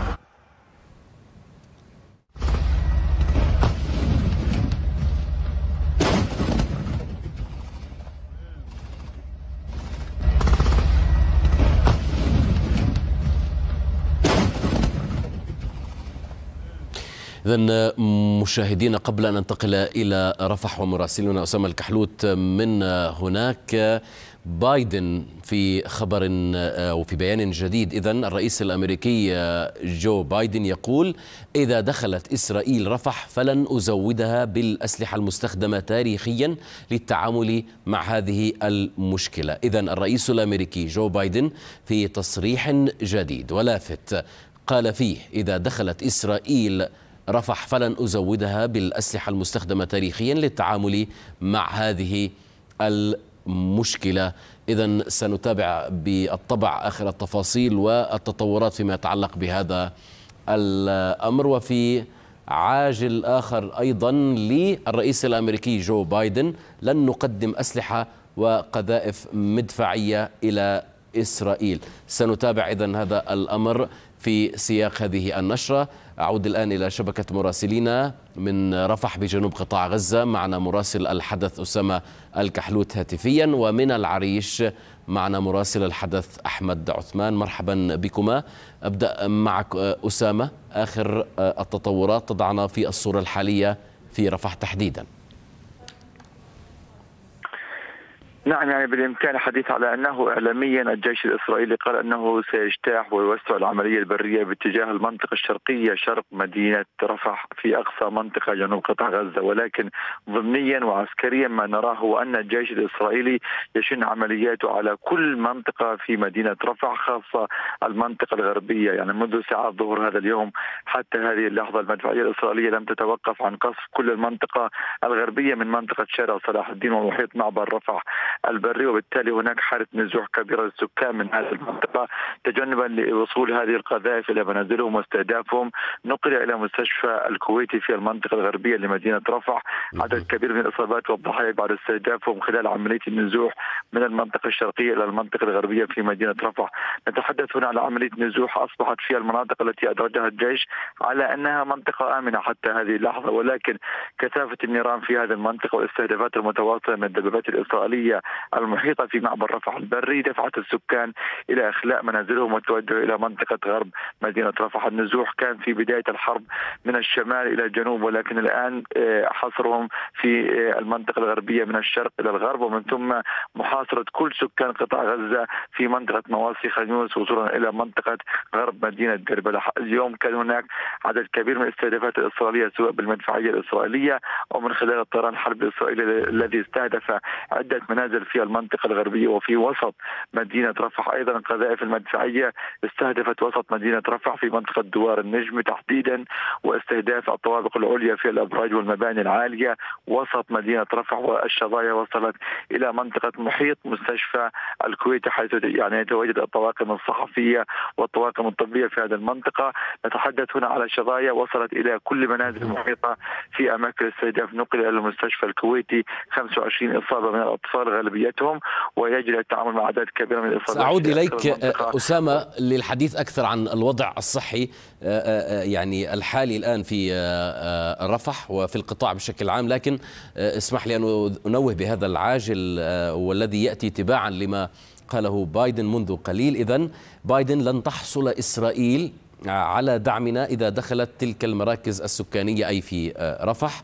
ويقول بأن القنابل التي قدمتها أمريكا إلى إسرائيل وأوقفتها الآن استخدمت في قتل المدنيين. إذا الرئيس الأمريكي في تصريحات لافتة القنابل التي قدمتها أمريكا إلى إسرائيل وأوقفتها الآن استخدمت في قتل المدنيين. سنتابع إذا كما ذكرت منذ قليل هذه التطورات في نشرتنا الحالية. معي الآن وأرحب بك مجددا أحمد عثمان. تضعنا في صورة الوضع مع إغلاق معبر رفح المستمر أثناء هذه العملية العسكرية الإسرائيلية. نعم أهلا بك. يعني بداية المشهد الميداني من شمال سيناء وتحديدا من معبري رفح وكرم أبو سالم حيث أن الإغلاق مستمر في المعبرين. المعبر رفح مغلق منذ الاجتياح. معبر معبر كرم أبو سالم. أعلن صباح اليوم بأنه سيستأنف فتحه لدخول المساعدات ولكن تم الإعلان بأن ما تم السماح بدخوله فقط هي شاحنة وقود تابعة للأونروا ومن ثم تم الإعلان أنه مستمر في الإغلاق. وهو ما انعكس بزيادة مشاهد تكدس الشاحنات في مدينة العريش في مدينة رفح في مدينة الشيخ زويد هذه المنطقة الكبيرة التي تشهد تكدسا كبيرا وكثيرا للشاحنات التي تحمل مواد غذائية تحمل مواد إيوائية ومستلزمات طبية. كل هذه الأمور يعني تعكس أو تطرح تساؤلا حول مستقبل مشهد المساعدات هذا في جزء جزء آخر يتعلق بفكرة أن الإغلاق في معبر رفح معناه أن هناك توقف تام تم فيما يتعلق بحركة المسافرين القادمين من قطاع غزة وأكثرهم من الجرحى والمصابين الذي كان يتم نعم. استقبالهم من معبر رفح من خلال سيارات الإسعاف وتوجيههم إلى المستشفيات المصرية سواء مستشفى العريش في شمال سيناء أو بعض الحالات الخطرة وبالتالي هناك تساؤلات حول مصير المعبرين على ضوء التصريحات هذا فيما يتعلق بالمشهد الإنساني أو المتعلق بمشهد المعبرين فيما يتعلق بالمشهد السياسي هناك تتجه الأنظار دائما إلى القاهرة حيث التصريحات التي تخرج تباعا والتي تؤكد بأن مصر حريصة على استمرار هذه المفاوضات بأنها يجب أن يكون. أن كان هناك تحذيرا من خطورة وقف المسار التفاوضي وخطورة يعني انهيار هذا المسار. كل هذه الأمور يتم بحثها بصير من خلال رؤيتين رؤية ما يحدث ميدانيا في معبر رفح في شمال سيناء وما يتم متابعته سياسيا من خلال اجتماعات القاهرة التي تؤكد مصر أنها حريصة عليها وعلى عدم انهيارها وأن المشاورات مستمرة. وآخر هذه التصريحات التي تؤكد بأنه هناك جهود قد بذلت وأن هناك بعض البنود الخلافية التي يتم احتوائها خلال ساعات المشاورات الماضية. نعم أحمد جزيل الشكر لك على كل هذه المعلومات والإيضاحات. إذا أحمد عثمان مراسل الحدث كنت معنا من العريش المصرية. أعود إلى أسامة الكحلوت. أسامة كنت قد تحدثت معك فيما يتعلق بالوضع الطبي الصحي في رفح ومع تحذيرات منظمة الصحة العالمية بأن الوقود قد لا يكفي لهذه المستشفيات لمدة ثلاثة أيام. تضعنا بالصورة في ما يتعلق بهذا الأمر أسامة. نعم اغلاق معبر كرم أبو سلم لا ينعكس فقط على القطاع الطبي بل ينعكس على كل سكان قطاع غزة، نتحدث على معبر هو المنفذ والشريان الوحيد لكل سكان قطاع غزة حتى وإن كان هناك في منطقة الشمال منطقة محاصرة لكن الكم الكم الأكبر من الكتلة البشرية الهائلة في منطقة جنوب قطاع غزة، قبل إغلاق هذا المعبر كان يدخل إلى قطاع غزة ما يقارب من 100 إلى 200 شاحنه مساعدات وأدوية ومياه ومواد غذائية ومواد إغاثية، كل هذه المواد كانت تدخل إلى قطاع غزة عبر هذا المعبر ويتم تفتيشها آه، من الجانب الإسرائيلي ومن ثم تدخل إلى قطاع غزة إلى مخازن منظمات أممية عاملة في قطاع غزة ومنظمات وزارة الشؤون الاجتماعية وأيضا مخازن آه، التابعة لجمعية الهلال الأحمر الفلسطيني. ولكن رغم آه، دخول ما يقارب من 200 شاحنه يوميا كانت هناك مطالبات أممية ومن المكتب الإعلامي الحكومي بالضغط على إسرائيل من أجل إدخال ألف شاحنه يوميا من أجل أن تسد رمق العائلات النازحة في مناطق جنوب قطاع غزة لأن ما يصل من مساعدات إلى النازحين داخل مدارس اللواء بالكاد تكفي للأسبوع. في آه، في بعض الأوقات كان يصل العائله الواحده طرد غذائي واحد لمدة أسبوع كامل وفي بعض العائلات كان يصلها آه، طرد غذائي لمدة أسبوعين كاملين. ولكن الآن انقطع هذا الشريان خاصة وأن كان كل سكان قطاع غزة كانوا بحاجة إلى كل حاجة من هذه المساعدات. ولكن الآن هذه الحاجة توقفت وهذه المساعدة انقطعت وهذا المعبر أغلق ولن يدخل أي شيء إلى قطاع غزة حتى للقطاع الطبي. الآن كان يدخل هذه المساعدات حتى وإن كانت للقطاع الطبي كان يتم توزيعها يوما بيوم على كل المستشفيات على كل مدارس اللواء على كل المراكز الطبية من أجل استخدامها في علاج المصابين والجرحى أو توزيعها على النازحين داخل مدارس اللواء الآن توقفت كل هذه المساعدات من اليوم الرابع على التوالي المعبر. معبر كرم أبو سالم التجاري مغلق ويعني يوم أمس كان هناك حديث من الإدارة الأمريكية على فتح معبر كرم أبو سالم التجاري من أجل إدخال الوقود ومن ثم الجيش الإسرائيلي أعلن صباح هذا اليوم على أنه سيتم فتح المعبر من أجل إدخال الوقود ولكن بعد ساعات طويلة من الانتظار أمام الممر الواصل إلى منطقة معبر كرم ابو سالم التجاري لم يتم إدخال ولا أي شاحنة وقود إلى قطاع غزة وبالتالي كان هناك تصريحات رسمية من وزارة الصحة على أن الكميات الموجودة داخل قطاع غزة من الوقود تكفي فقط لثلاثة أيام مقبلة وفي حال لم يتم افتتاح وفتح المعبر أمام الوقود وإدخاله إلى قطاع غزة ستحل كارثة في القطاع الطبي وسيتوقف ستتوقف المولدات العاملة في قطاع غزة وهذه كارثة إذا لم يتم فتح المعبر خلال الساعات القادمة وليس الأيام القادمة. ربما الساعات القادمة ستحمل أخبار كثيرة يعني خاصة يعني بعد تصريحات الرئيس الأمريكي اللافته إن صح إن صح التعبير. شكرا لك أسامة حتى اللحظة. أسامة الكحلوت من رفح مراسل الحدث.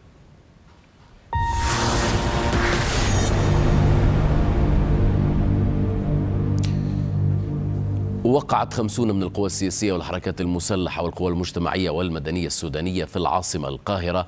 وقعت على ميثاق يرسم رؤية للفترة التأسيسية الانتقالية. الميثاق يرتكز على الحد الأدنى من التوافق الوطني والحوار دون إقصاء أي طرف مع ضرورة بقاء القوى الخارجية الساعية لحل الأزمة السودانية على مسافة واحدة من الجميع. وقال ياسر فتحي مساعد رئيس حزب الأمة أن هدف الوثيقة هو توحيد السودانيين ووضع إطار لإدارة المرحلة مرحلة ما بعد الحرب. مؤكدا أن الوثيقة تهدف أيضا إلى حشد الجهود الشعبية لدعم الجيش في معركته ضد ما وصفه بعدوان قوات الدعم السريع على الشعب والدولة وفقا لتعبيره. القوى المشاركة هي طبعا زي ما هو حوالي 49 تنظيم إلى الآن.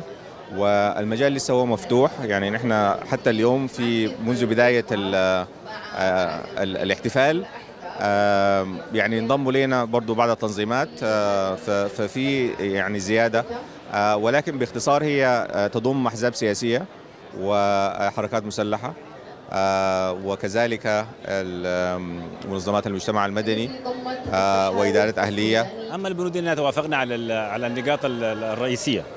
بالنسبة ل إنه نحن كلنا بنصطفى وراء الجيش القوات المسلحة أساس إنه لحد ما نطلع من الأزمة بتاعت الحرب دي والحاجة الثانية نحن زي ما قلت لك اتفقنا على حكاية إنه ندير حوار سوداني سوداني شامل يضم كل الفئات المجتمعية والسياسية وحركات الكفاح المسلحه. مخرجات هذا المؤتمر معبرة جدا عما يجيش في دواخل الشعب السوداني من عملية تراضي ومن عملية سعي إلى توحيد الأمة السودانية ومن عملية ضد المحاولات التي تسعى إلى إجهاض الدولة السودانية وتدميرها. ولذلك جاء هذا المؤتمر عبارة عن وثيقة مكتملة تحاور الناس فيها وتداوروا وتشاوروا في كثير من الأمور التي تهم الشعب السوداني.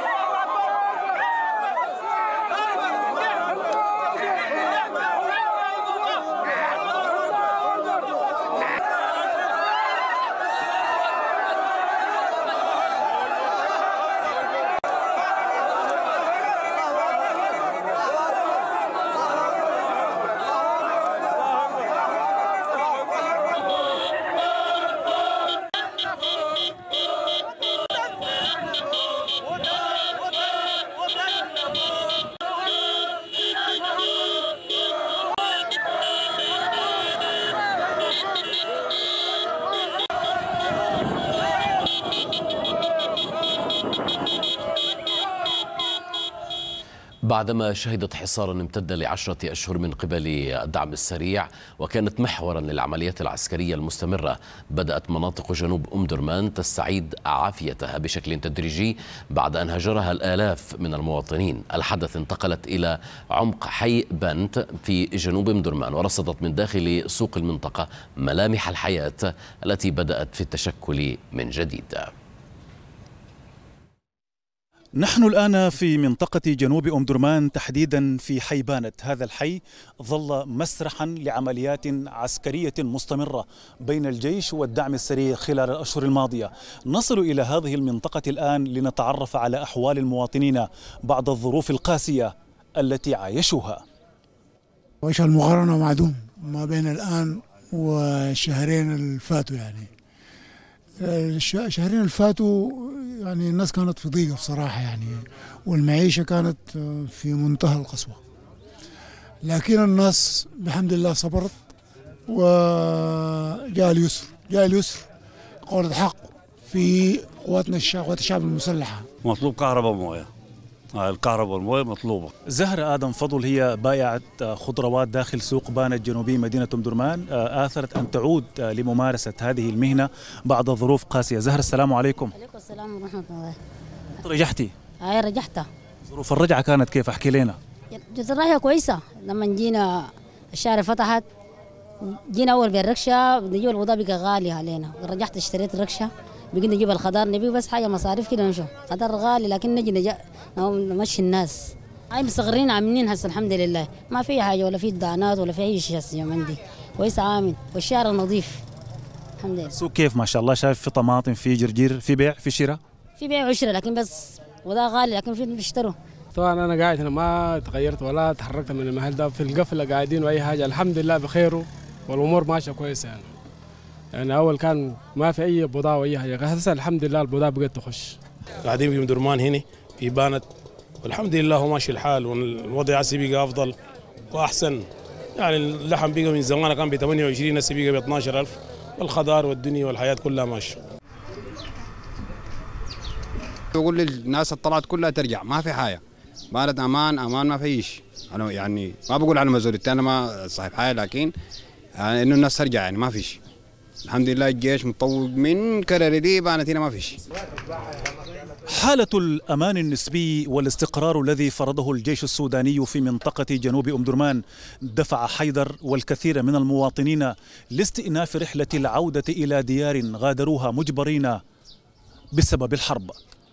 نزار البغداوي لقناتي العربية والحدث من منطقة بانت جنوب أم درمان فاصل قصير ونواصل من بعده. الداخلية المصرية تجري تحقيقات موسعة في إطلاق نار أودى بحياة رجل أعمال كندي يهودي في الإسكندرية.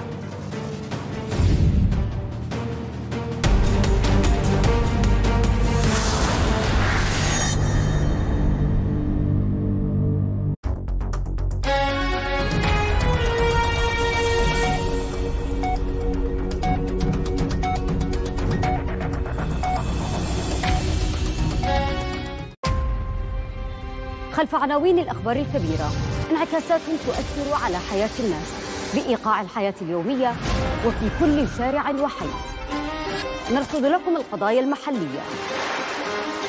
تفاصيل دقيقة تعكس الواقع. الفساد الفقر وعناوين كثيرة. نحلل ونفصل. أحداثا صامتة غائبة أو مغيبة. مع بداية خيوط الحدث ستجدنا هنا في مكانك وزمانك. الحدث في مكانك. السبت الحادي عشر والنصف صباحا بتوقيت جرينتش على شاشة الحدث. منذ ولدنا ونحن نصارع الحياة. نترك أشياء من أجل أشياء أخرى. نحاول جاهدين أن ندرك أن نعرف السر في الوصول إلى غايتنا من العيش الكريم بلا حروب أو صراعات أو جوع أو مآسم. لطالما كانت الأمنيات صعبة التحقيق والأحلام تبقى أسيرة الواقع. الذي طالما ننتظره أن يتغير.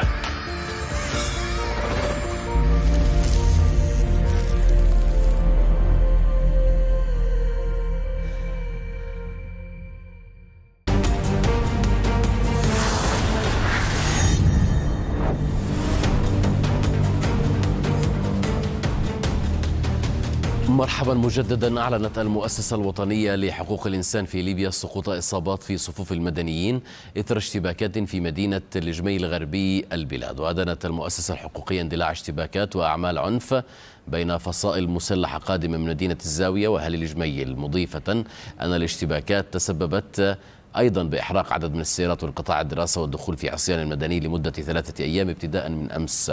أوضحت المؤسسة الحقوقية أن الاشتباكات وقعت بين أهل الجميل وتشكيلات مسلحة تفرض سيطرتها على مناطق وبلدات الجميل والمنشية ورقدالين وزلطين ودعت المؤسسة الوطنية لحقوق الإنسان في ليبيا إلى الوقف الفوري لأعمال العنف والاشتباكات المسلحة وبمدينة الجميل وضواحيها. مشاهدينا نذكر بهذه العواجل التي تظهر تباعا على شاشتنا. إذا بعد تصريحات بايدن الأخيرة القناة الثانية عشر الإسرائيلية تصريح بايدن بمثابة هزة أرضية حقيقية للعلاقات الأمريكية الإسرائيلية. إذا القناة الثانية عشر الإسرائيلية تقول بأن تصريح بايدن الأخير يعد بمثابة هزة أرضية حقيقة للعلاقات الأمريكية الإسرائيلية. بايدن نذكر بما قاله للتو قال إنه يأسف لمقتل مدنيين في غزة بقنابل أمريكية الصنع. وهدد أيضا في تصريحاته بوقف بعض شحنات الأسلحة الأمريكية إلى إسرائيل إذا اجتاحت الأخيرة رفح. وقال أيضا بايدن لن تحصل إسرائيل على دعمنا إذا دخلت المراكز السكانية في رفح. وأيضا في تصريحاته الأخيرة يقول بأن القنابل التي قدمتها أمريكا إلى إسرائيل وأوقفتها الآن استخدمت في قتل المدنيين. نكمل مشاهدينا في هذه الجولة الإخبارية حيث الفوضى الأمنية لا تزال هي العنوان الأبرز في مناطق الغرب الليبي وفق ما توثقه تقارير حقوقية وإعلامية في ظل عمليات اقتتال متكررة بين الفصائل المسلحة والاتهامات لهذه الفصائل بارتكاب انتهاكات بحق المدنيين. هاجمين على مديرية. هاجمين على مديرية. مديرية جمال الساحل الغربي هاجمين عليها ميليشيات هاجمين عليها. تعال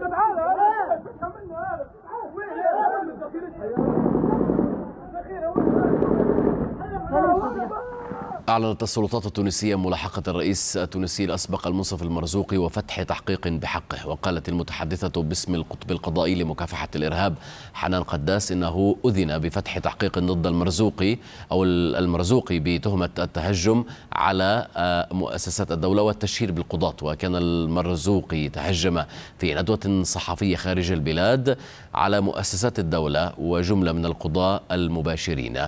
وأشارت التقارير إلى أنه من بين القضاة ثلة من القضاة المباشرين بالقطب القضائي لمكافحة الإرهاب. كاشفة أن التشهير بأسماء القضاة وصفاتهم يعرض حياتهم للخطر بحكم تخصصهم.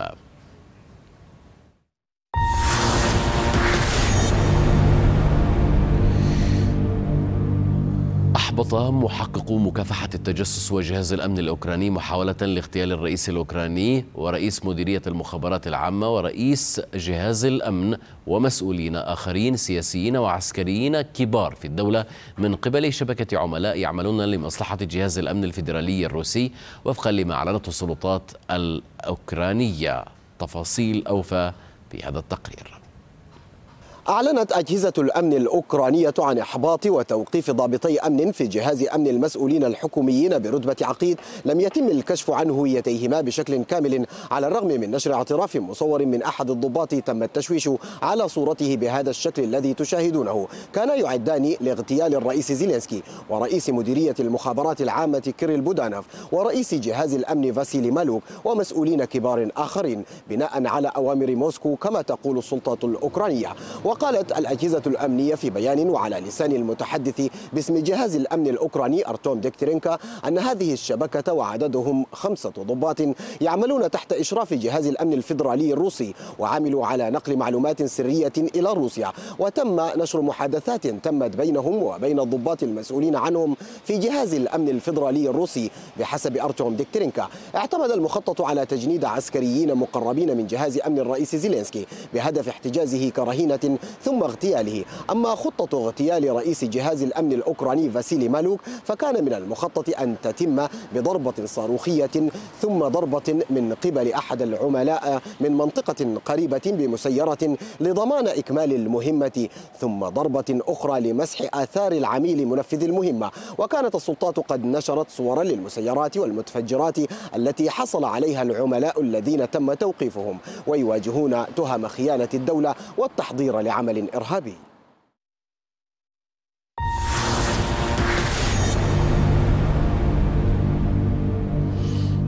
في تداعيات قضية مقتل رجل الأعمال الكندي الجنسية واليهودي الديانة في محافظة الإسكندرية شمال مصر كشفت معلومات جديدة للحدث أن القتيل من أصل أوكراني ومن أشد المتعاطفين مع إسرائيل وقد زار تل أبيب مرات عدة كسائح ورجل أعمال في العام 2000 وخمسة عشر وتردد عليها كثيرا في سنوات عديدة بعد ذلك. كما أكدت المعلومات أن القتيل يمتلك ثلاث شركات لتصدير الخضروات والفواكه لها فروع في مصر وأوكرانيا والبرازيل برأس مال يقارب الستين مليون دولار. كما أضافت المعلومات أن القتيل افتتح مصنعا للشركة في محافظة البحيرة. ومكتبا إداريا لها في الإسكندرية لوجود موانئ لتصدير بضائعه.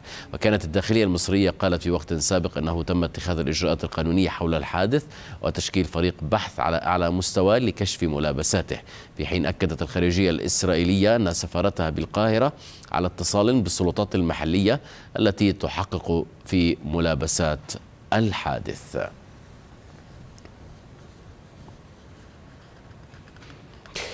أناقش هذا الموضوع ونعرف المزيد من التفاصيل مع ضيفي من القاهرة الصحفي محمود سعد الدين. أستاذ محمود مرحبا بك. أي معلومات جديدة يعني طرحت حول هذه القضية؟ العنوان الأهم حول هذه القضية أن هذا الحادث جنائي وليس سياسي. نؤكد على هذا العنوان لأن وفق البيان الصادر من وزارة الداخلية المصرية أن هذا الحادث جنائي وليس سياسي. الحقيقة التأكيد على فكرة الجنائية في هذا الحادث هو أمر يحسم المزيد من الجدل والروايات الغير صادقة التي ترددت بشكل كبير عبر منصات التواصل الاجتماعي خلال الساعات القليلة الماضية. المعلومات الأخرى التي تتردد بشكل كبير وبقوة أن هذا الرجل كان يعيش بحرية كاملة داخل الأراضي المصرية منذ سنوات طويلة ويمارس عمله كرجل أعمال له العديد من الفروع والشركات المختلفة داخل عدد من الدول وأن هذا الرجل يمتلك عدد من المخازن المختلفة داخل الأراضي المصرية ويصدر المواد الغذائية وتحديدا الخضروات إلى الخارج. إضافة إلى ذلك أيضا وفق المعلومات الرسمية التي صدرت من وزارة الداخلية المصرية أن فريق عمل موسع مشكل من عدد من الأوجه داخل وزارة الداخلية المصرية تعمل بشكل جاد على مدار الساعة وعلى مدار الساعات القليلة الماضية للوصول إلى مرتكبي هذا الحادث وتقديمهم للمحاكمة العاجلة في أقرب وقت وللتأكيد أيضا نود أن نشير أن وزارة الداخلية يعني ألم يتم القبض عليهم حتى الآن يا أستاذ محمود؟ شديدة الحرص جاري وفق بيان الخري... وفق بيان وزارة الداخلية إنه جاري العمل على ضبط الجناه ومرتكبي الحادث وتقديمهم للعدالة ووفق هذا البيان نود نود التوضيح إنه وزارة الداخلية فور وصولها لأي معلومة ستعلنها للرأي العام المصري والراي العام المحلي الذي يتابع هذه القضية عن كسب.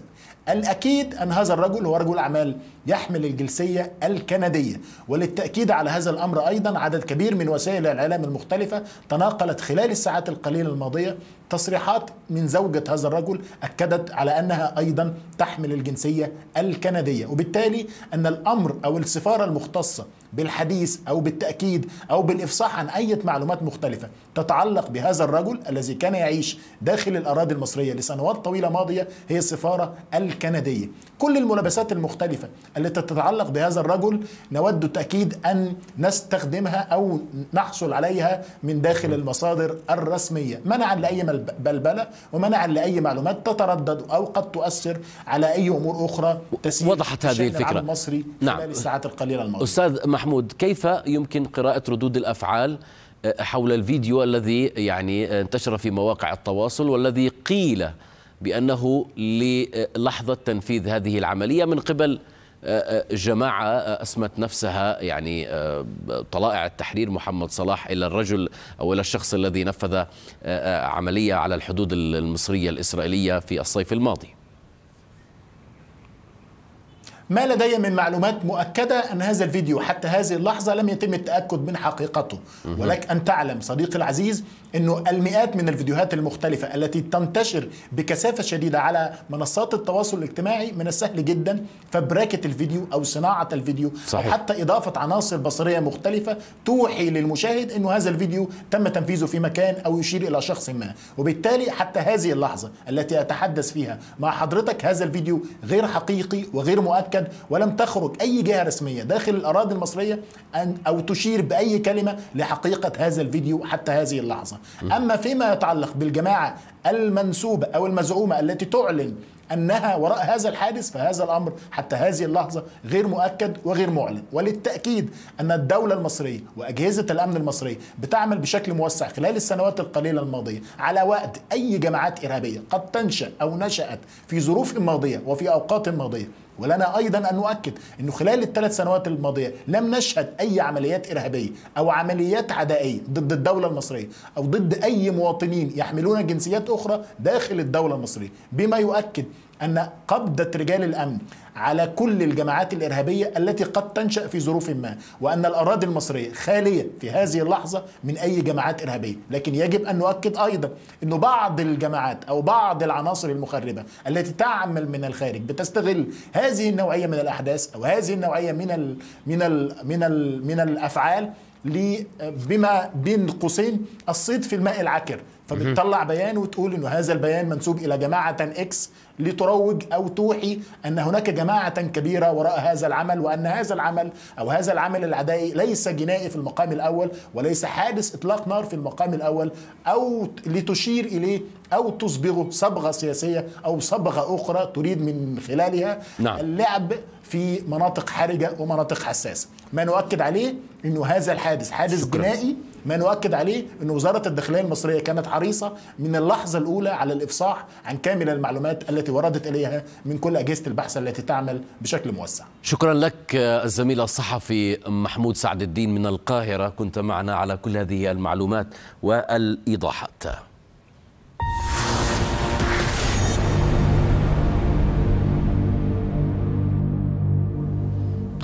كشفت مصادر الحدث عن معطيات جديدة وصادمة في قضية اختطاف مغاربة من قبل عصابة إجرامية في ميانمار لاستغلالهم في عمليات نصب واحتيال في شبكات الإنترنت. تفاصيل أكثر مع الزميل محمود ألواوي هنا بالأستوديو. مرحبا محمود. تفضل. مرحبا بك بصير. أهلاً. شكرا لك. ما زالت قضية اختطاف مواطنين مغاربة من قبل عصابات إجرامية دولية بين تايلاند ومينمار تتفاعل وتتصدر حديث الشارع المغربي.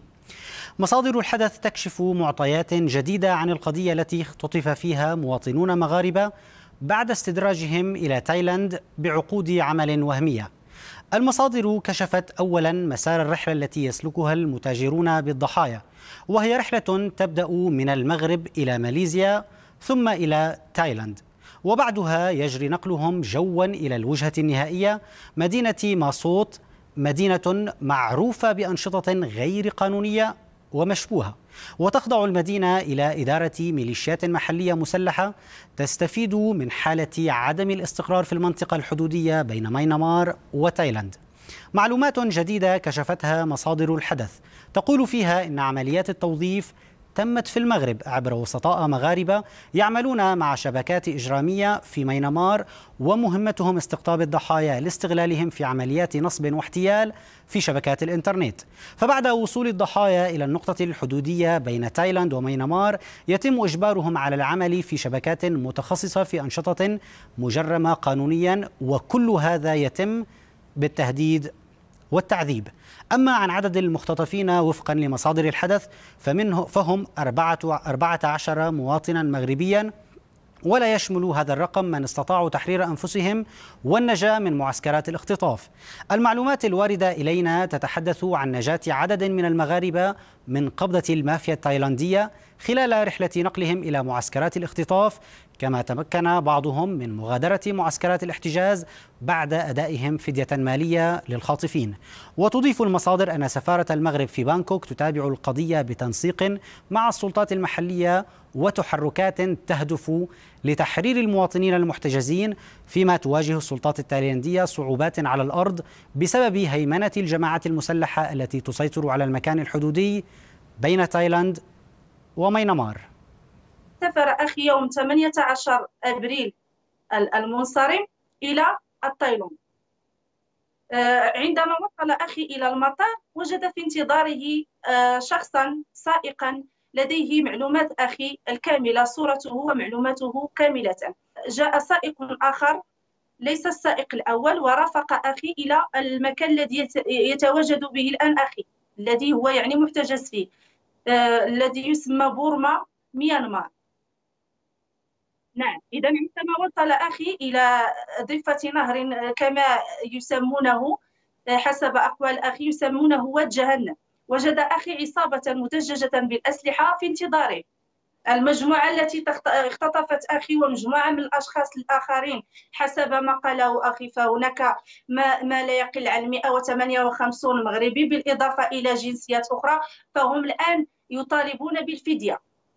يعني الفدية 10 ملايين مغربية أو 10,000 دولار. أناقش وأيضا أتعرف على آخر التطورات فيما يتعلق بهذه القضية اللافتة من العاصمة المغربية الرباط. معي الآن مراسل الحدث عادل الزبيري. عادل مرحبا بك معنا. آخر التطورات فيما يتعلق بهذه القضية.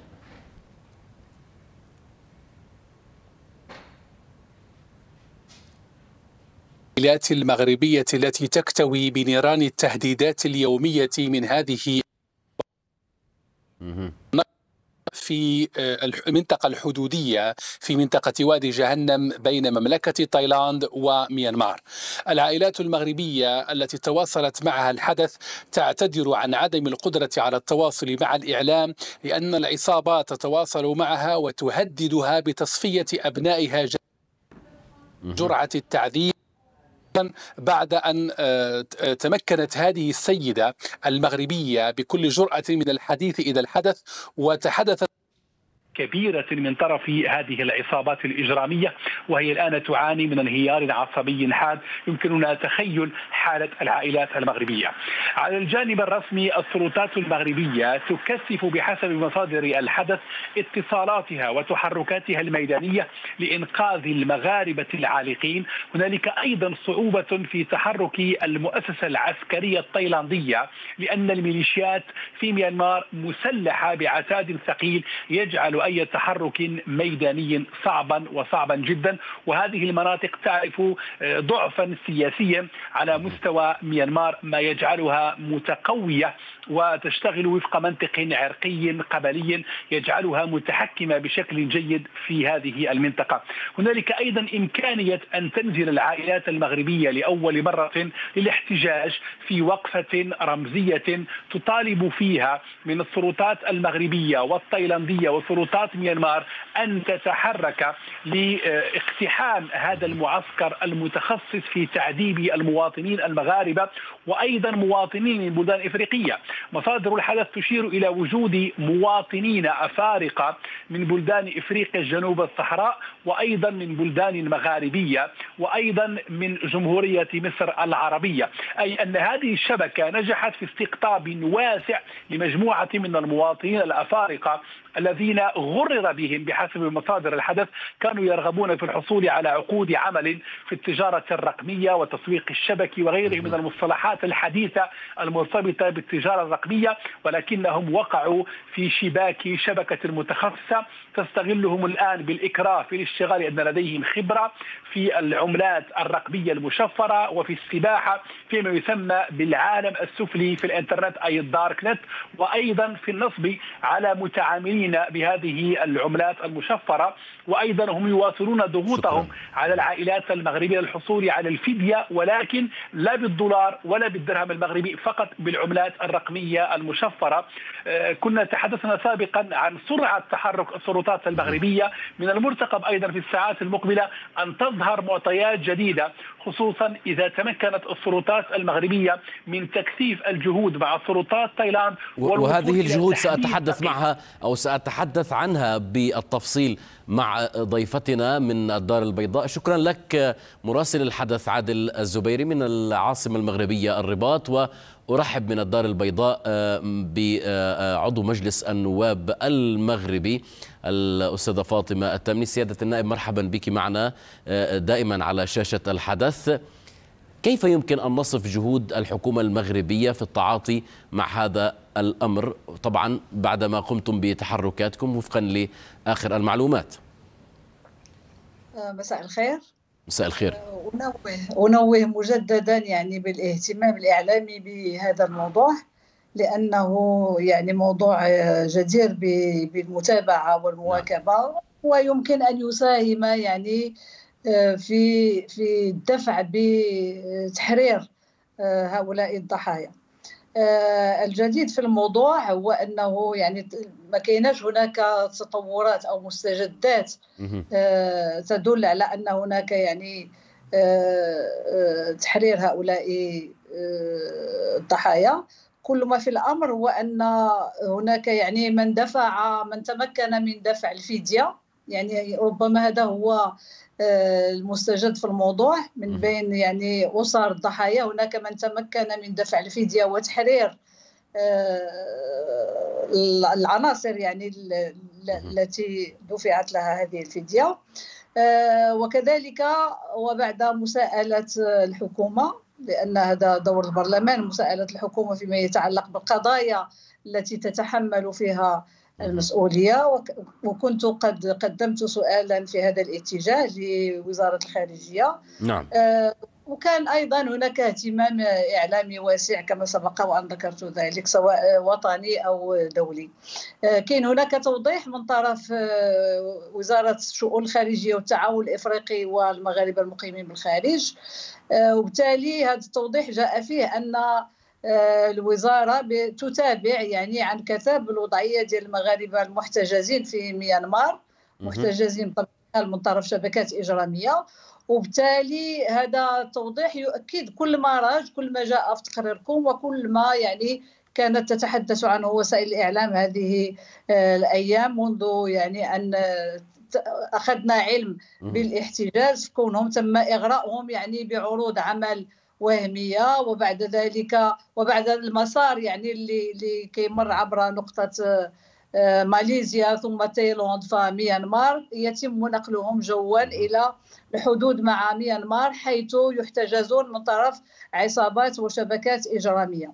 وبالتالي الوضع هو أنه لحد الآن هؤلاء يعني فيما يتعلق بالمغاربة وهناك جنسيات أخرى. ذهبوا يعني بغرض البحث عن عن عمل لأنهم اليوم وضحت هذه الفكرة. اسمحي لي أستاذة فاطمة. لعنف مزدوج نعم. الأول هو انهم كانوا في المنعطف اللافت الآن والذي لربما سيكون يعني يعني خطيرا في هذه القضية أن العصابات وفقا لما قاله زميلنا عادل مراسل الحدث أن العصابات تتواصل مع عائلات الضحايا أي عائلات الضحايا المغاربة لدرجة يعني أن الكثير من هذه العائلات اعتذرت للظهور إعلاميا وهددتهم. يعني كيف يمكن التعليق على هذا الأمر؟ وكيف يمكن مفاداة هذا الأمر من التصعيد والوصول إلى يعني مرحلة من الخطر جديدة إن صح التعبير؟ طيب طيب الأكيد أن هذه شبكات يعني منظمة شبكات إجرامية شبكات مسلحة. وبالتالي تحتجز هؤلاء الضحايا لغرض يعني لأغراض إجرامية تجبرهم اولا على على الاحتيال الإلكتروني والقيام بأعمال يعني إجرامية وبالتالي في الوقت اللي كيطلبوا فيه أنهم ينصرفوا لحالهم فهي تطالبهم بأداء فديه بمعنى أن وتهدد وحتى أيضا من من طرف يعني الأفراد الذين تم نجحوا في دفع الفدية وتحرروا من قبضتهم أكدوا أنهم يتعرضون للتعذيب باستمرار ويهددون بالقتل. وبالتالي هذا الوضع يعني مقلق جدا لأن فيه تهديد بسلامة هؤلاء الضحايا. اليوم يعني التوضيح ديال السفاره ديال وزارة الخارجية المغربية على أنها في تواصل مع السلطات التايلاندية عبر ممثليها الدبلوماسيين هناك. أيضا هناك تنسيق من طرف يعني السلطات المعنية في تايلاند وميانمار على أساس أنها تدفع في اتجاه إطلاق سراح هؤلاء الضحايا. ولأن الموضوع لا يتعلق فقط بمغاربة وهناك جنسيات أخرى خصوصا من جنوب الصحراء. فهناك يعني أيضا معلومات تفيد بأن هناك تنسيق ما بين المجموعة الإفريقية وما بين منظمات دولية للتنسيق لإيجاد مقاربة من أجل يعني إطلاق سراح المواطنين الأفارقة بصفة عامة وتحريرهم من قبضة شبكات الاتجار في البشر نعم. يعني الإشكال هو أن وكما عبرت عليه أيضا كما عبر عليه بلاغ السفاره هو أن آه الإشكال هو أن المناطق المعنية يسيطر عليها يعني متمردون مسلحون. وبالتالي آه هناك يعني إشكال أولا في آه كيفية الوصول إلى هؤلاء المتمردين إلى هؤلاء الشبكات لأن الوضع يعني فيه فيه فيه يعني تمكن من الأسلحة في سيطرة على منطقة في يعني تمرد وبالتالي ليس من السهل يعني تحرير هؤلاء الضحايا. نعم. كان أيضا هناك تواصل مع عائلات الضحايا استقبلتهم استقبلتهم يعني الخارجية بوزارة الخارجية بالمغرب. واستقبلوا أيضا من طرف السفارة بالرباط وبالتالي عبروا على على قلقهم على تخوفهم على الوضع يعني المؤسف والمأساوي الذي يعيشون فيه. وبالتالي هناك يعني المخاطر لا زالت محدقة خصوصا وأن التهديدات بالقتل يعني مستمرة والتعرض للتعذيب أيضا مستمر. وبالتالي من المهم جدا أن يكون هناك يعني آه، آه، مبادرات مبادرات في إطار يعني القانون الدولي ما يتيحه القانون الدولي إلى غير ذلك من أجل تحرير هؤلاء الضحايا لأن لحد الآن لا زالت هناك يعني لا زال هناك غموض لا زال هناك آه، يعني عدم وضوح في العناصر شكرا. المتشابكة اللي اللي كتخص هذا الموضوع هذا وبالتالي حتى المقاربة ديال اللي ممكن تمشي في اتجاه تحرير هؤلاء آه، الضحايا لا زالت يعني غير واضحة بالشكل الكافي. جزيل الشكر لحضرتك على كل هذه المعلومات والإيضاحات من الدار البيضاء. كنت معنا عضو مجلس النواب المغربية الأستاذة فاطمة التامني شكرا لكم. في نهاية الساعة الثانية من جولتنا الإخبارية هذه بإمكانكم دائما مشاهدين متابعة آخر الأخبار على منصات التواصل الاجتماعي التابعة للحدث والتفاعل مع ما ينشر عليها من أخبار وأيضا زيارة الحدث دوت نت للمزيد من التقارير والأخبار أيضا هناك. كونوا بخير دائما. هذه تحياتي بصير إلى اللقاء.